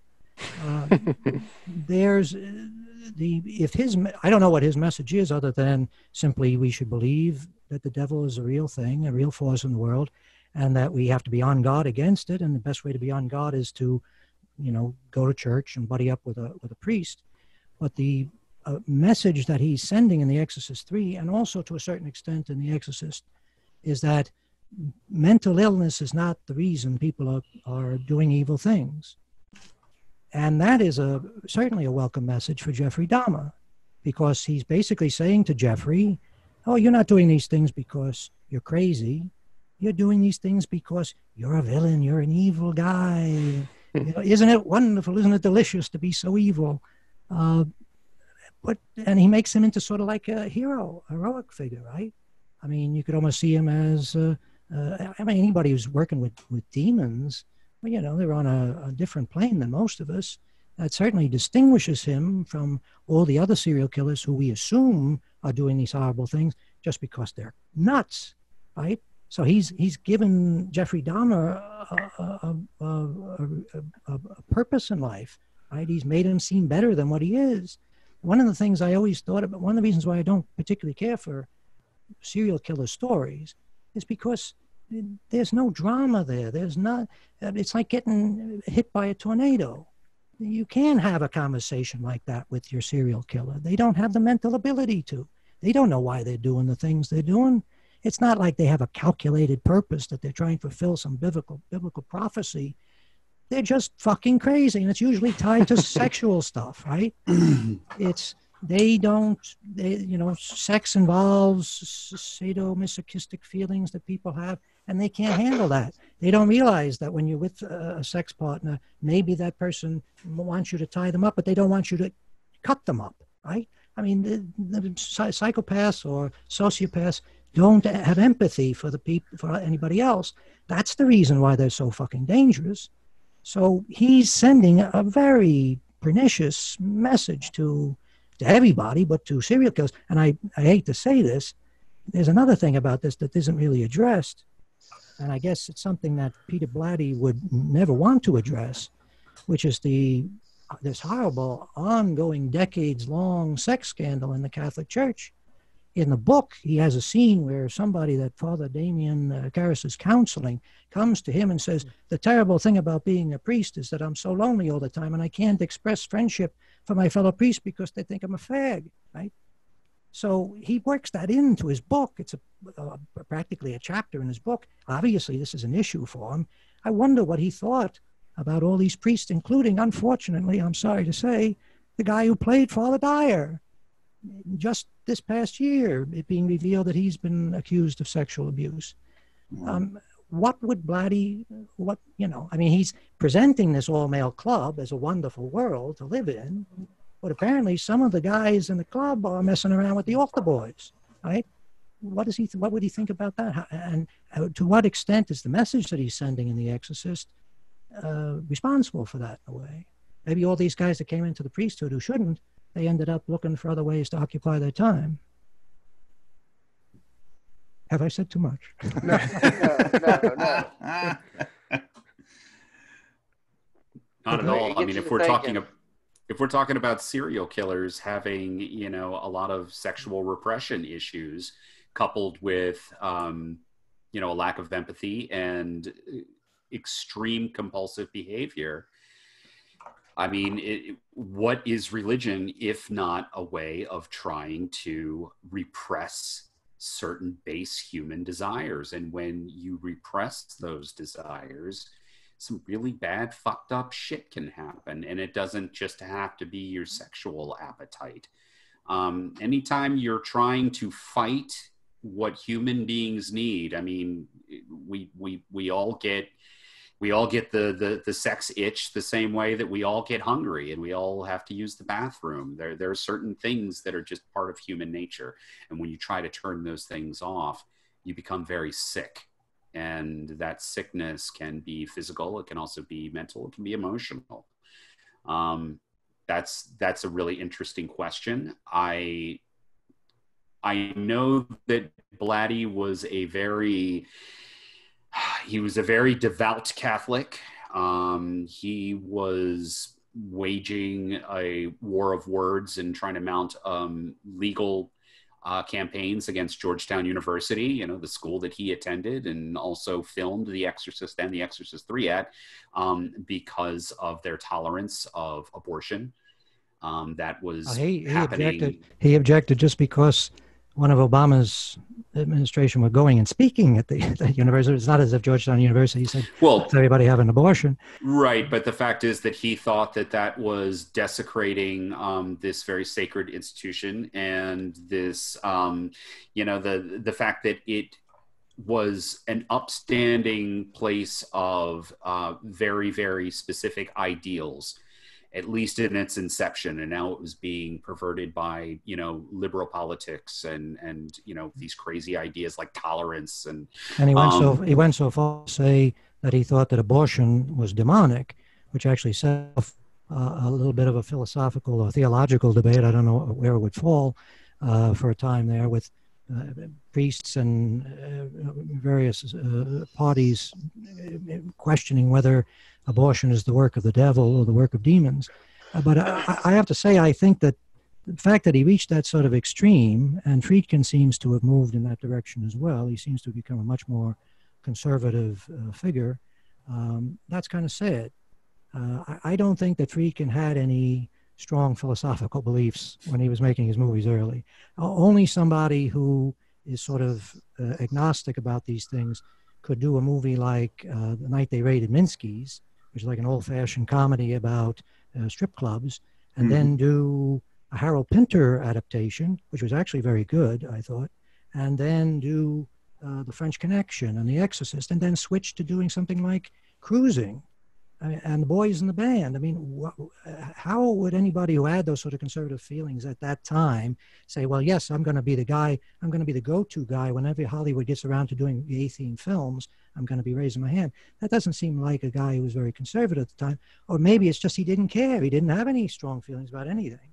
He was just a great filmmaker and he was willing to put his genius to work on whatever script was given to him. I'm always interested to see that he was fascinated by the little criminal things that happened along the edges of his film, like uh, the fact that the guy who is one of the doctors in The Exorcist, uh, giving her the test, turned out to be what a, a murderer or uh, yes. Yeah, killed. Was his killed his girlfriend or his roommate or something?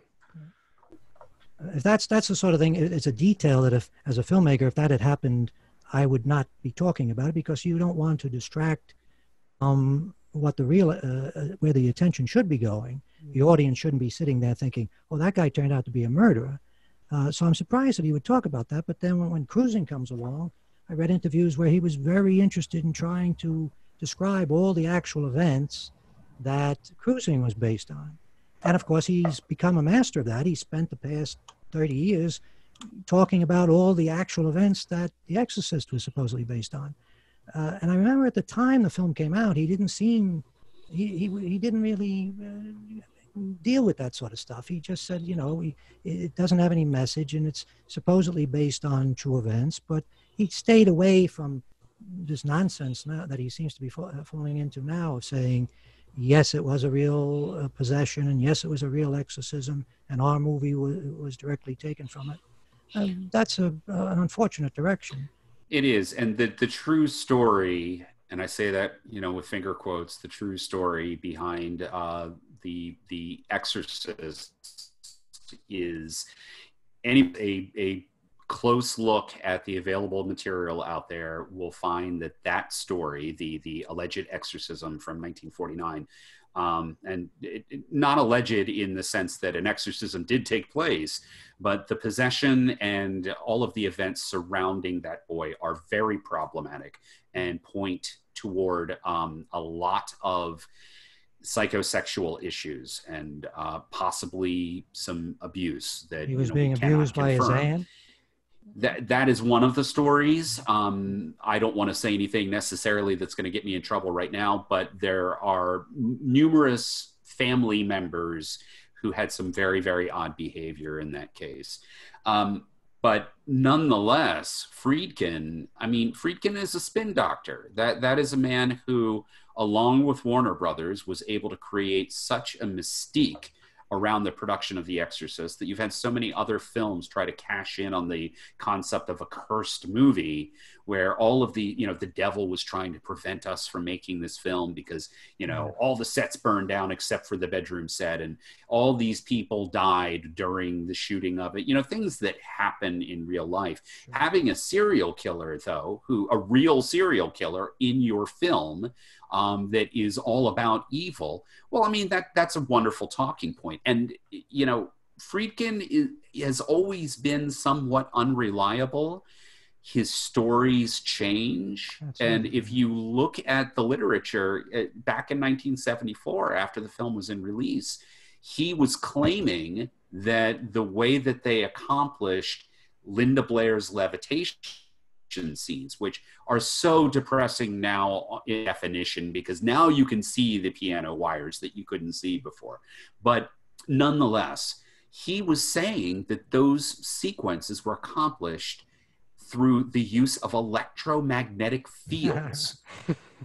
total bullshit. Total mm-hmm. bullshit. Even Blatty was coming out in the press and going, I have no idea what the hell this guy is talking about because no no giant magnets were being used and no, you know, there were no ley lines involved with this or whatever. But you know, it it Well, most is a wonderful storyteller. most in more ways movies, than one. Most commercial films, you'd say there's no harm in that sort of P.T. Barnum approach.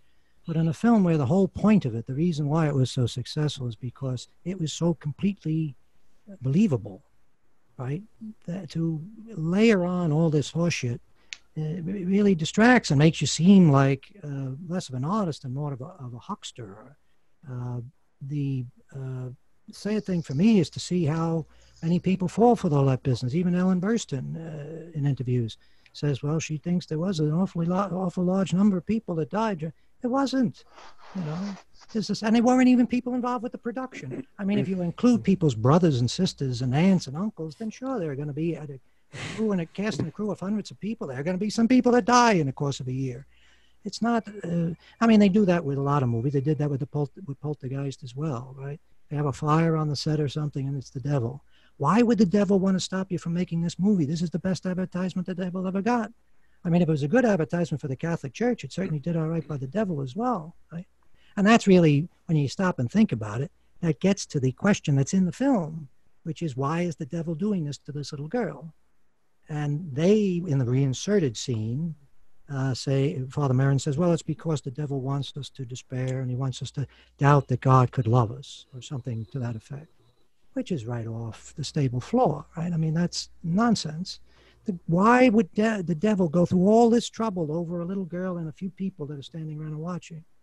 And if the devil really wanted to get it, uh, uh, create evil in the world, to stir up evil, how about whispering to one of those priests, hey, take a look at that little boy over there? That's, you know, a possession that really causes real harm. Just look at the effect that the sex abuse scandal has had on people all over the world for the past Right. 30 years. Well, yeah, and it, I think that you're you're you are setting yourself up if this is supposed to be some sort of an evangelical message um, for the criticism that the devil isn't all that frightening when he or his minions have the ability to manifest by taking over a human body um, and controlling it like a like a puppet and choosing of all the houses in Washington D.C. or in a suburb um, in that area to say I'm going to go after that 12 year old child rather than that other house in Washington D.C.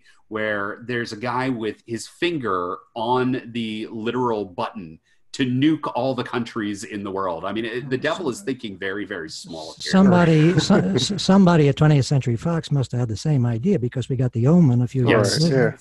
yeah. Uh, So Billy, Billy, let me ask you this: Do you think that this movie holds up still when you watch it now? Do you get the same creepiness and uneasy that you get that you had the first time you saw it? Um, just probably by like the head turning part. Just the head turning part. yeah, right now still, but no, it still holds up. It's still like nothing's probably ever going to be when it comes to Exorcist movies. I mean, you're never going to be, you're never going to find that same magic.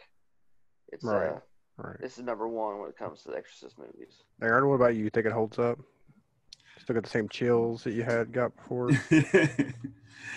yeah, like I was trying to say before, yeah, it's one of my favorites. It always will be. Um, yeah, it it it freaked me out when I was younger, and I still get that uneasy feeling, like like everybody's saying. You know, it makes you feel uneasy. Like, holy crap, this could really happen. You know, uh, in in some people's mind, this could really happen. So, but uh, yeah, I love it, and I think it holds up.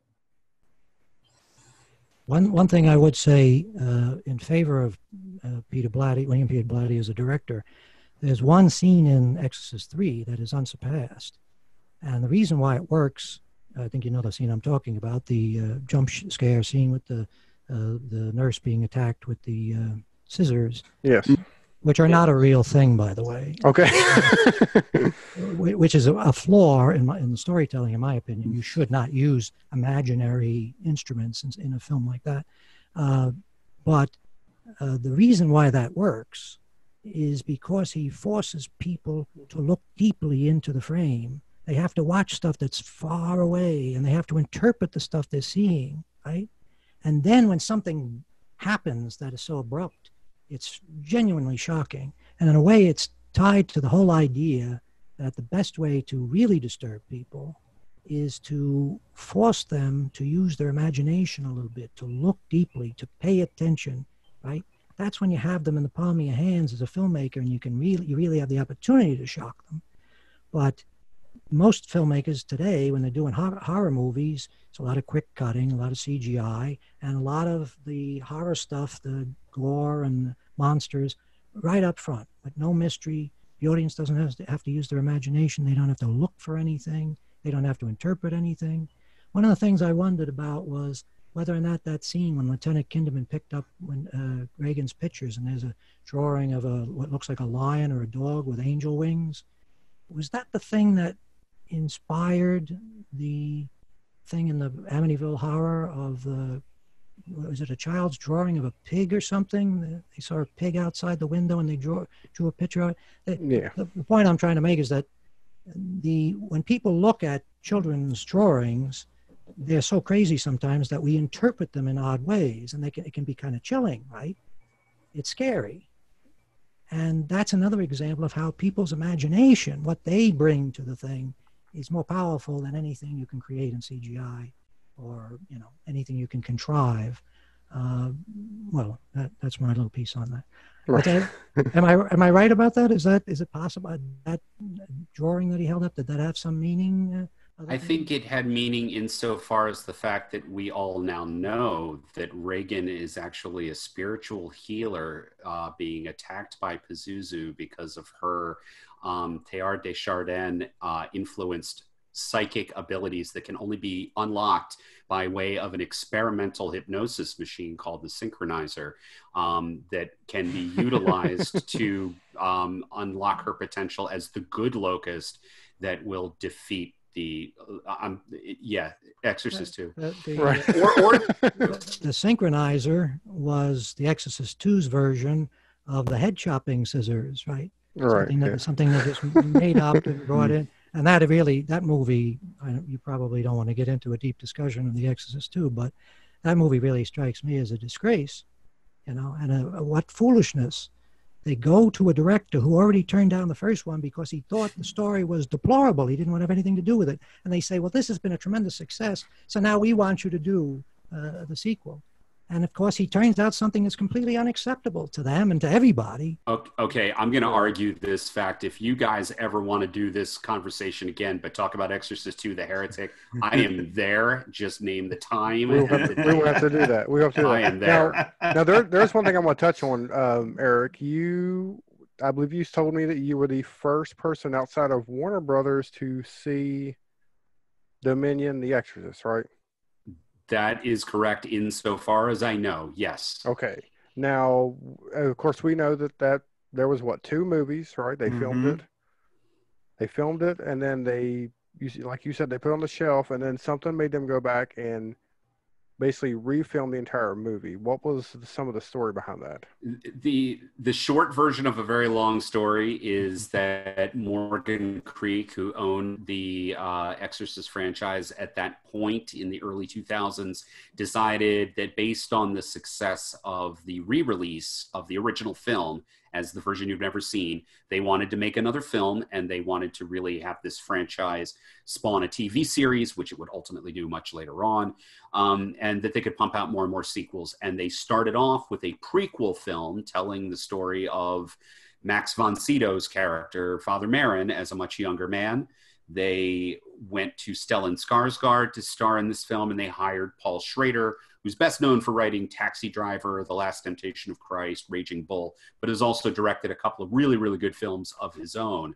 Not to Um, mention and, cat people. and not to mention cat people Yeah.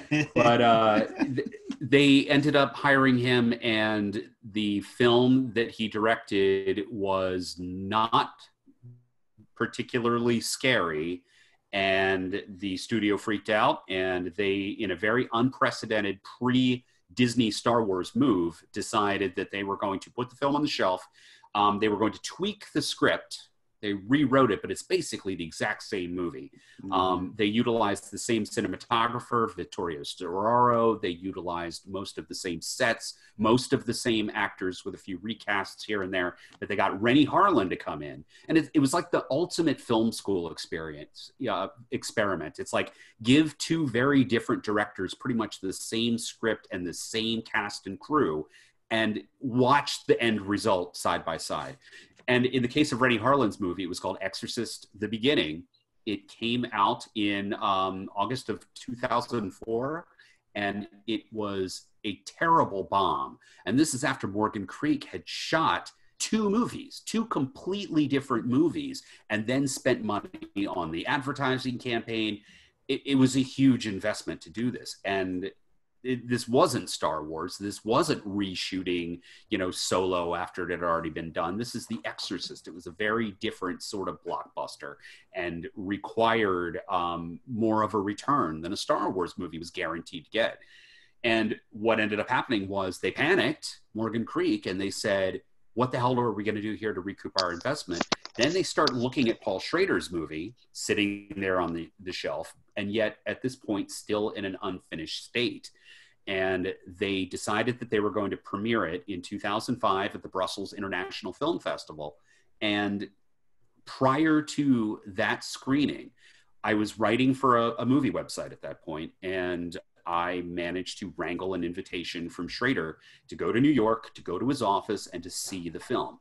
So I watched Dominion, prequel to The Exorcist, which is like a, an alternate universe version of Exorcist the Beginning.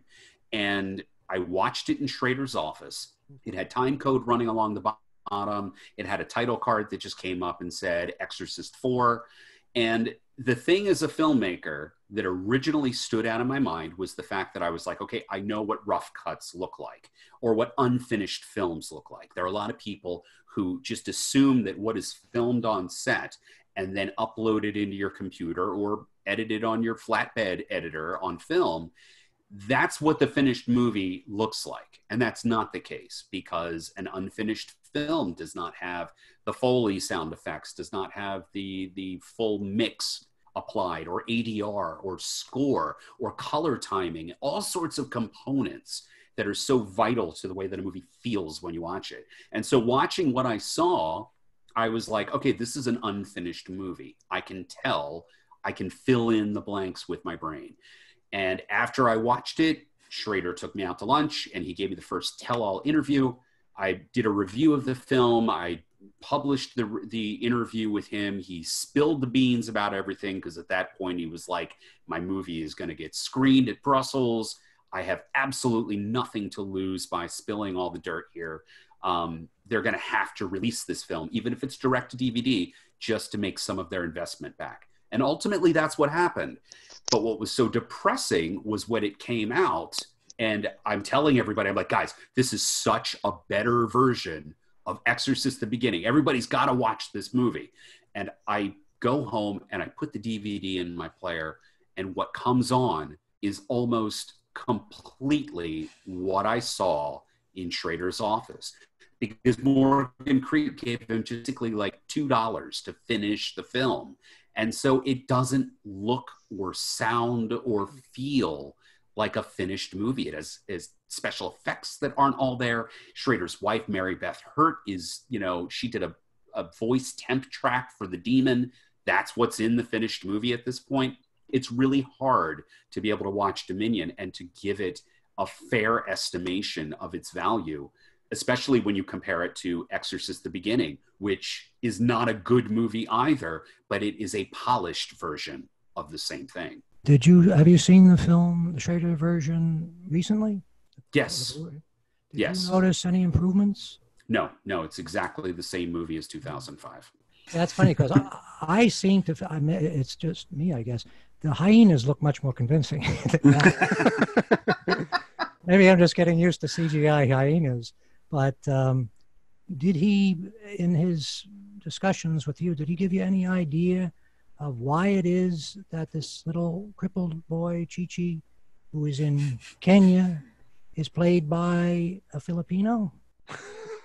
the what was in the original script and was not in the finished or if we're going to call it the finished film was that this boy was partly an outcast and considered um, to be a bad omen in the village um, based on his physical appearance which was the result of his mother having been raped by a foreign soldier Oh, I see. and so he was supposed to be you know Mixed a blood. mix Yeah. mixed I thought blood it, and it that seemed a little. It seemed a little unfortunate because it seems like it sort of plays on these old ideas that retarded children look mongoloid. You know, is the expression that they used to use, which means that they look Asian.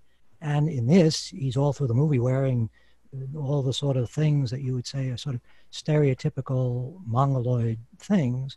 I just didn't understand why it was in there. I mean, in the uh, Renny Harlin version, it's a, a black boy that plays the the child, and he isn't even uh, the one thing that I would say, in my opinion, is definitely a positive about the Harlin version is that he doesn't end up being the one who's possessed, because um, there's a, a the Exorcist series has a, a, a sort of race problem. There are no black people in the first movie other than nurses, and they found out that The Exorcist played really well with black audiences. I don't know if you've ever heard. Uh, I got this off of Wikipedia, so you take it for what it's worth. but apparently, they didn't book it into black theaters in Los Angeles, into theaters in black neighborhoods, because they didn't think a black audience would have any interest in the subject matter, which is sort of understandable. Turns out they were wrong. All the folks coming from the black neighbors came to the to the theaters in the white neighborhoods to see The Exorcist, and it was a big hit with the black audience. Now, what I'm wondering is, when the time came to do Exorcist 2, that they say, well, we got to make sure that some of this takes place in Africa and that we have some black faces in it because we have a fairly large audience of people that are black that want to see this movie? That seems to be something that they do in each film.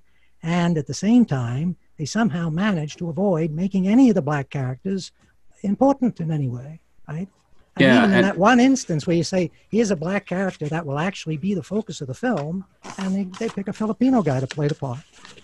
Absolutely, and I, I think that the success um, of the original film with African American audiences is the reason why the first ripoff film that was rushed out the gate was Abby, the, the William Girdler black exploitation. And yeah, you start seeing more representation as the films go on, but you know it, it, it tends to fall into you know the sort of um, you know the primitive savage um, archetype versus characters with agency or or real um, you know a, a real place in the story in the narrative other than to sort of prop up the heroic white Well, what I characters. what I felt sorry the guy I felt sorry for was the guy who had to play that same part as sort of like the the, the guy uh, their assistant uh, the guy who's the interpreter. He's playing the same part in two movies had to go through that twice and all he does but to stand there with a pained expression on his face and tell the the tribe leaders what this guy is telling I mean that's a talk about talk about a thankless role right? And he ends up getting a spear in him at the arm. Oh my god the one thing you don't want right but we got we can at least say andrew french i believe his name is andrew french he got paid twice so Yeah. well, that's true you know maybe he's not complaining So Billy, what's your uh, what's your final thoughts on let's just say all the Exorcist films except for two because we'll save it for another episode. To out like rank them? Is that what you mean? Yeah, I mean just you know just thoughts on them. You don't have to, you don't have to rank them. Well, I've only seen The Exorcist and Exorcist Three. I've never seen any of the. Uh, You never seen part you're a two? lucky man. yeah. No, I have not. I have not. god is with I've you. not seen um the other ones too, like the beginning and all that. oh wow. What what do y'all think about the show The Exorcist? I never watched it. I didn't watch. the Never watched show. it. no. I haven't either. Any of y'all? Have y'all? Anybody else? No, no, Nope. sir. I I have, and if you've ever wanted to see uh, a priest in an exorcist film or television series battle a demon by dragging a possessed person into the water from a beach, wrap a stole around his hand, and then use it to punch the water, therefore turning it into holy water, which expels the demon from the body. This Wow. is the show for you. Wow. Wow. Okay. Uh, that's like where- yeah. Magic. You have to check that one out. I, th- I think it's on Hulu. Uh, Aaron, what are your uh, thoughts on? um, no, uh, this whole conversation. I mean, I know we've uh, sat here, we listened to you guys, man. I mean, I, I really like. I learned seeing a lot of stuff that- I didn't know. Yeah, I mean, I learned a lot too from these movies, um, or from you guys talking about these movies. Um, like you said, the the Dominion in the in the beginning, practically the same film, little tweaks here and there, and uh, both are not very good. but the beginning, I think, has more uh, nods to the original film, in my opinion. Um, but yeah, like I said, you can't beat The Exorcist, and you know they try to capture lightning in the bottle, and you can never do that, you know, twice. So, um, but yeah, uh, very informative. Yeah, now my thoughts on like the, the the original Exorcist. Like I said, I saw it when I was a kid, but I don't really remember when I saw it. And the creepier parts that stood out to me were like the yeah his mom in the street. I think it's Mhm. just because it had that dream, almost like a it was almost like a nightmare kind of scene. Um, looking back at it, looking back at it now, as I guess I would consider myself sort of atheist. I don't really believe in religion or anything that's why I look at it now as more of a metaphor for, um, you know, mental health or, you know, you know, just the way they treated mental health even back then. You know, hmm um, I, part two I don't really care for. Part three I really enjoy part three, and then the the uh, the prequel and Dominion I re- nah, I could if if I never never see those again I'd, I'd be happy.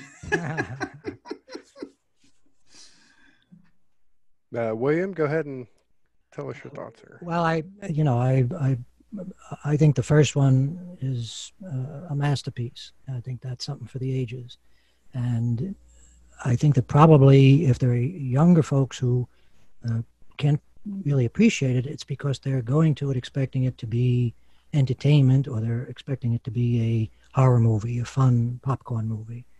Uh, it comes from a time when, for a brief time at least, um, Hollywood was making serious films they've continued to make serious films around the world, but in the United States, after Star Wars, and I love Star Wars, but after Star Wars, everything had to be mindless entertainment. hmm Not stupid, but it had to be the th- sort of thing that would uh, you would be entertained by it without having to really think deeply about anything, and would make you feel good.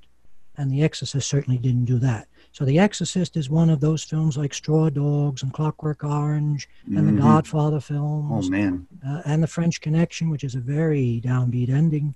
They're not films that are meant to be entertainment. They're meant to be works of art, really.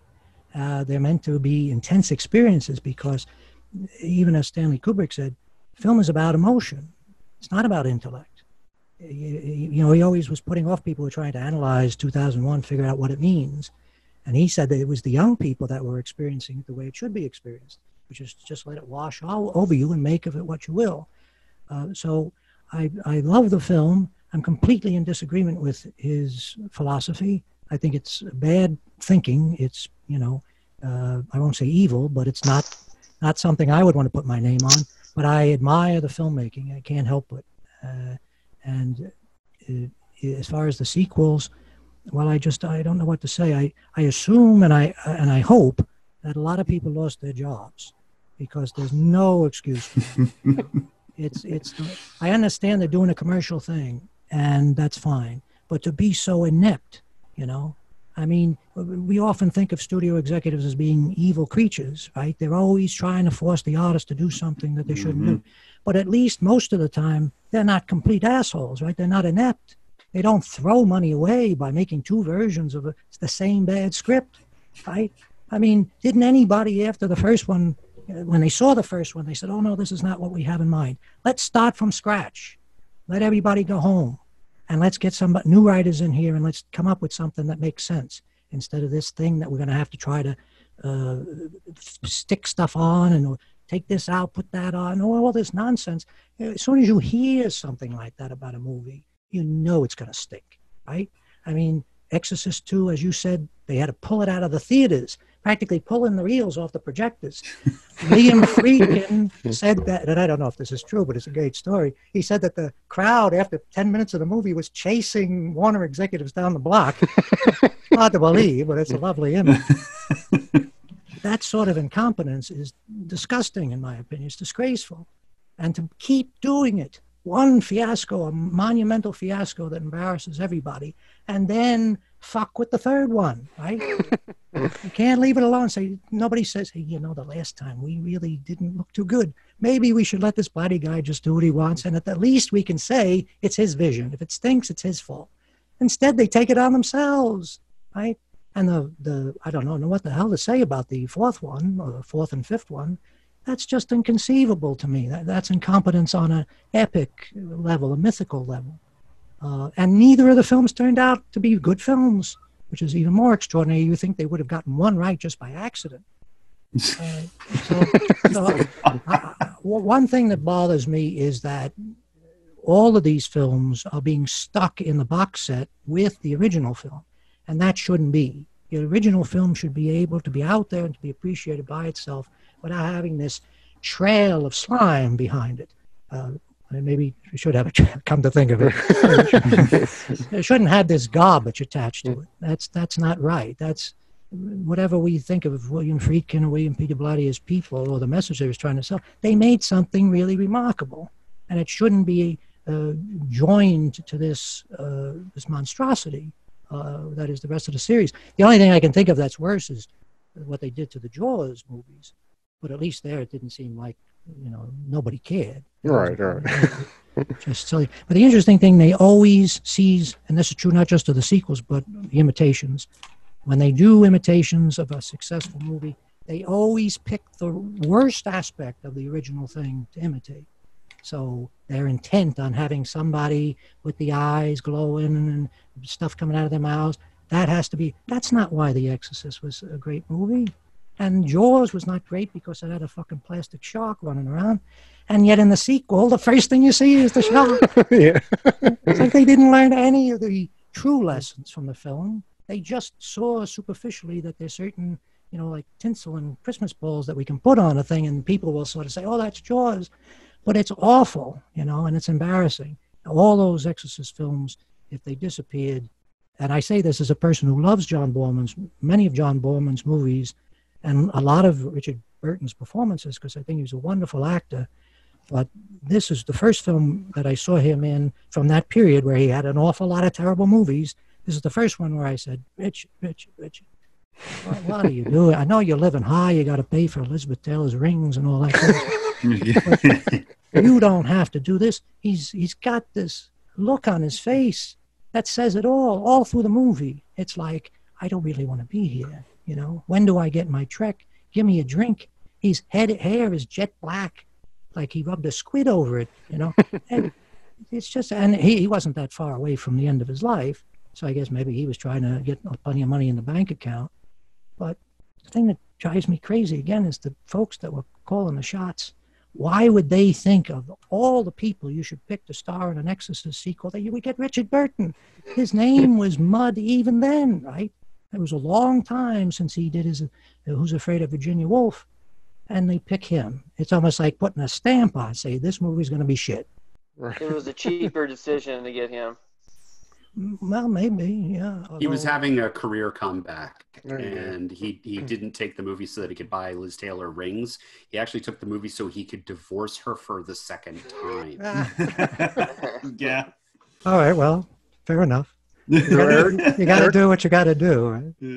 Erik, can we give us your final thoughts there on just the series and a, on a whole there? the most of the writing that I have done for various websites um, have been on the subject of genre theory and franchise development, specifically these these series of films and how you know each installment is in many ways a response to the film that preceded it and also to what the trends were in Hollywood and in pop culture at the time.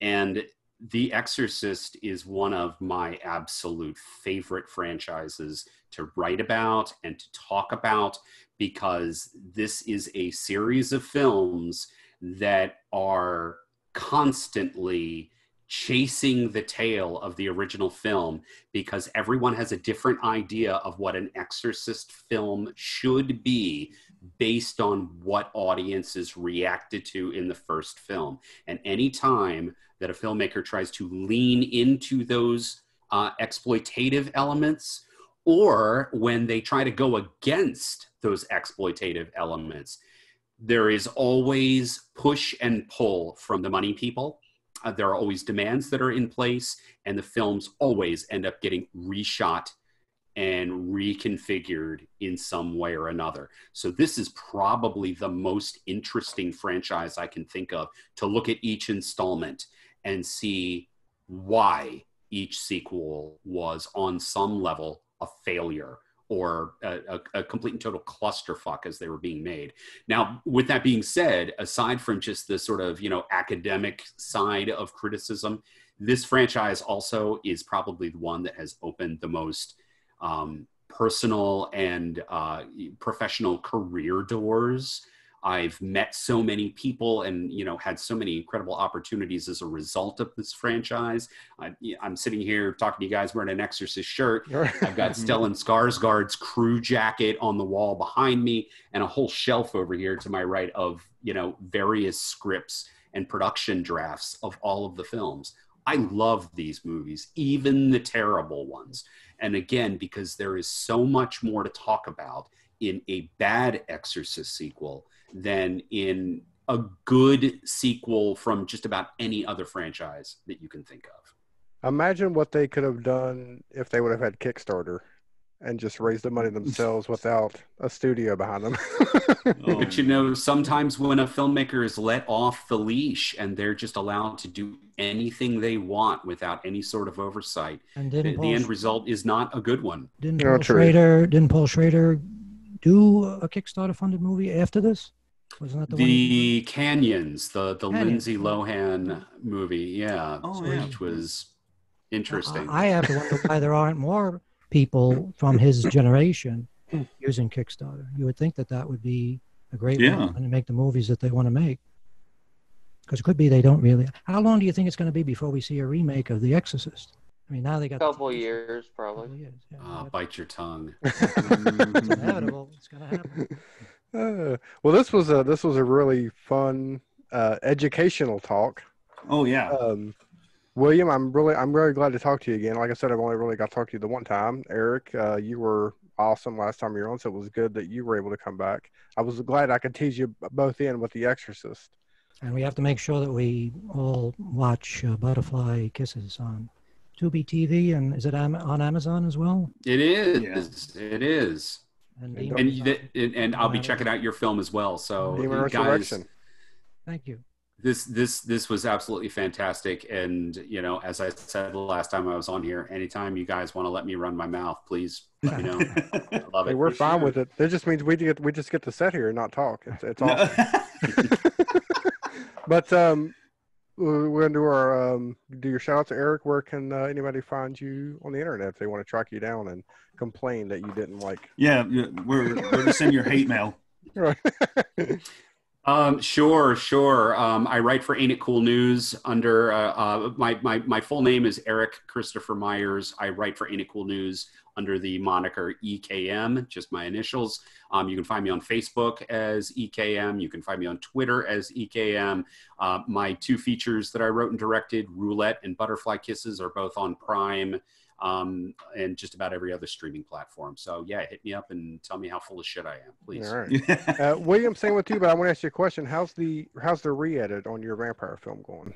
Uh, I've turned that into a uh, hobby uh, from my declining years. Okay.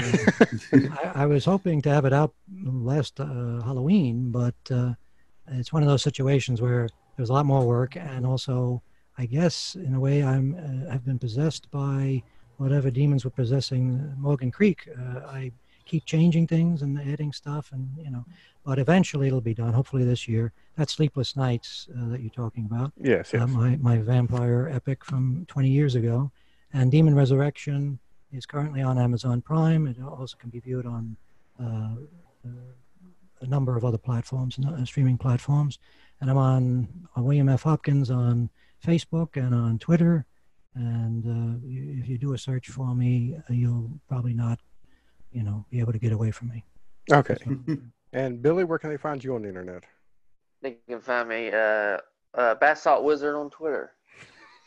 I love it. Aaron, what about you?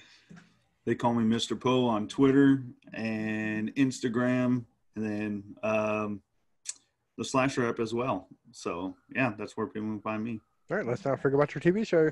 You got a Oh yeah. well, I I haven't I haven't plugged it on the show in so long. Um, Sci-Fi Sideshow, 8 p.m. Sundays on B Movie TV Roku app. So right, and you can find me on Twitter, uh, 1313 Inc. on Twitter. Um, of course, I'm on Facebook. I don't really do much on there. And as of today, we are we're we're kind of converging everything over to 1313 Inc. Productions. So we don't have all these different websites and too many. 500 you know Twitter accounts to try to Oh, post to. So I'm going to move all that together. But I just want to thank you guys again for coming on. This was fun, and uh, hopefully you can come back for part two, the heretic. Oh yeah. Too. Yes, absolutely. Thanks very much for having me on. Yeah, no problem. I- you could not tear me away from that conversation. I'm look I'm looking forward to it. Thank you guys. Oh. Thanks, guys. There you go. It has been established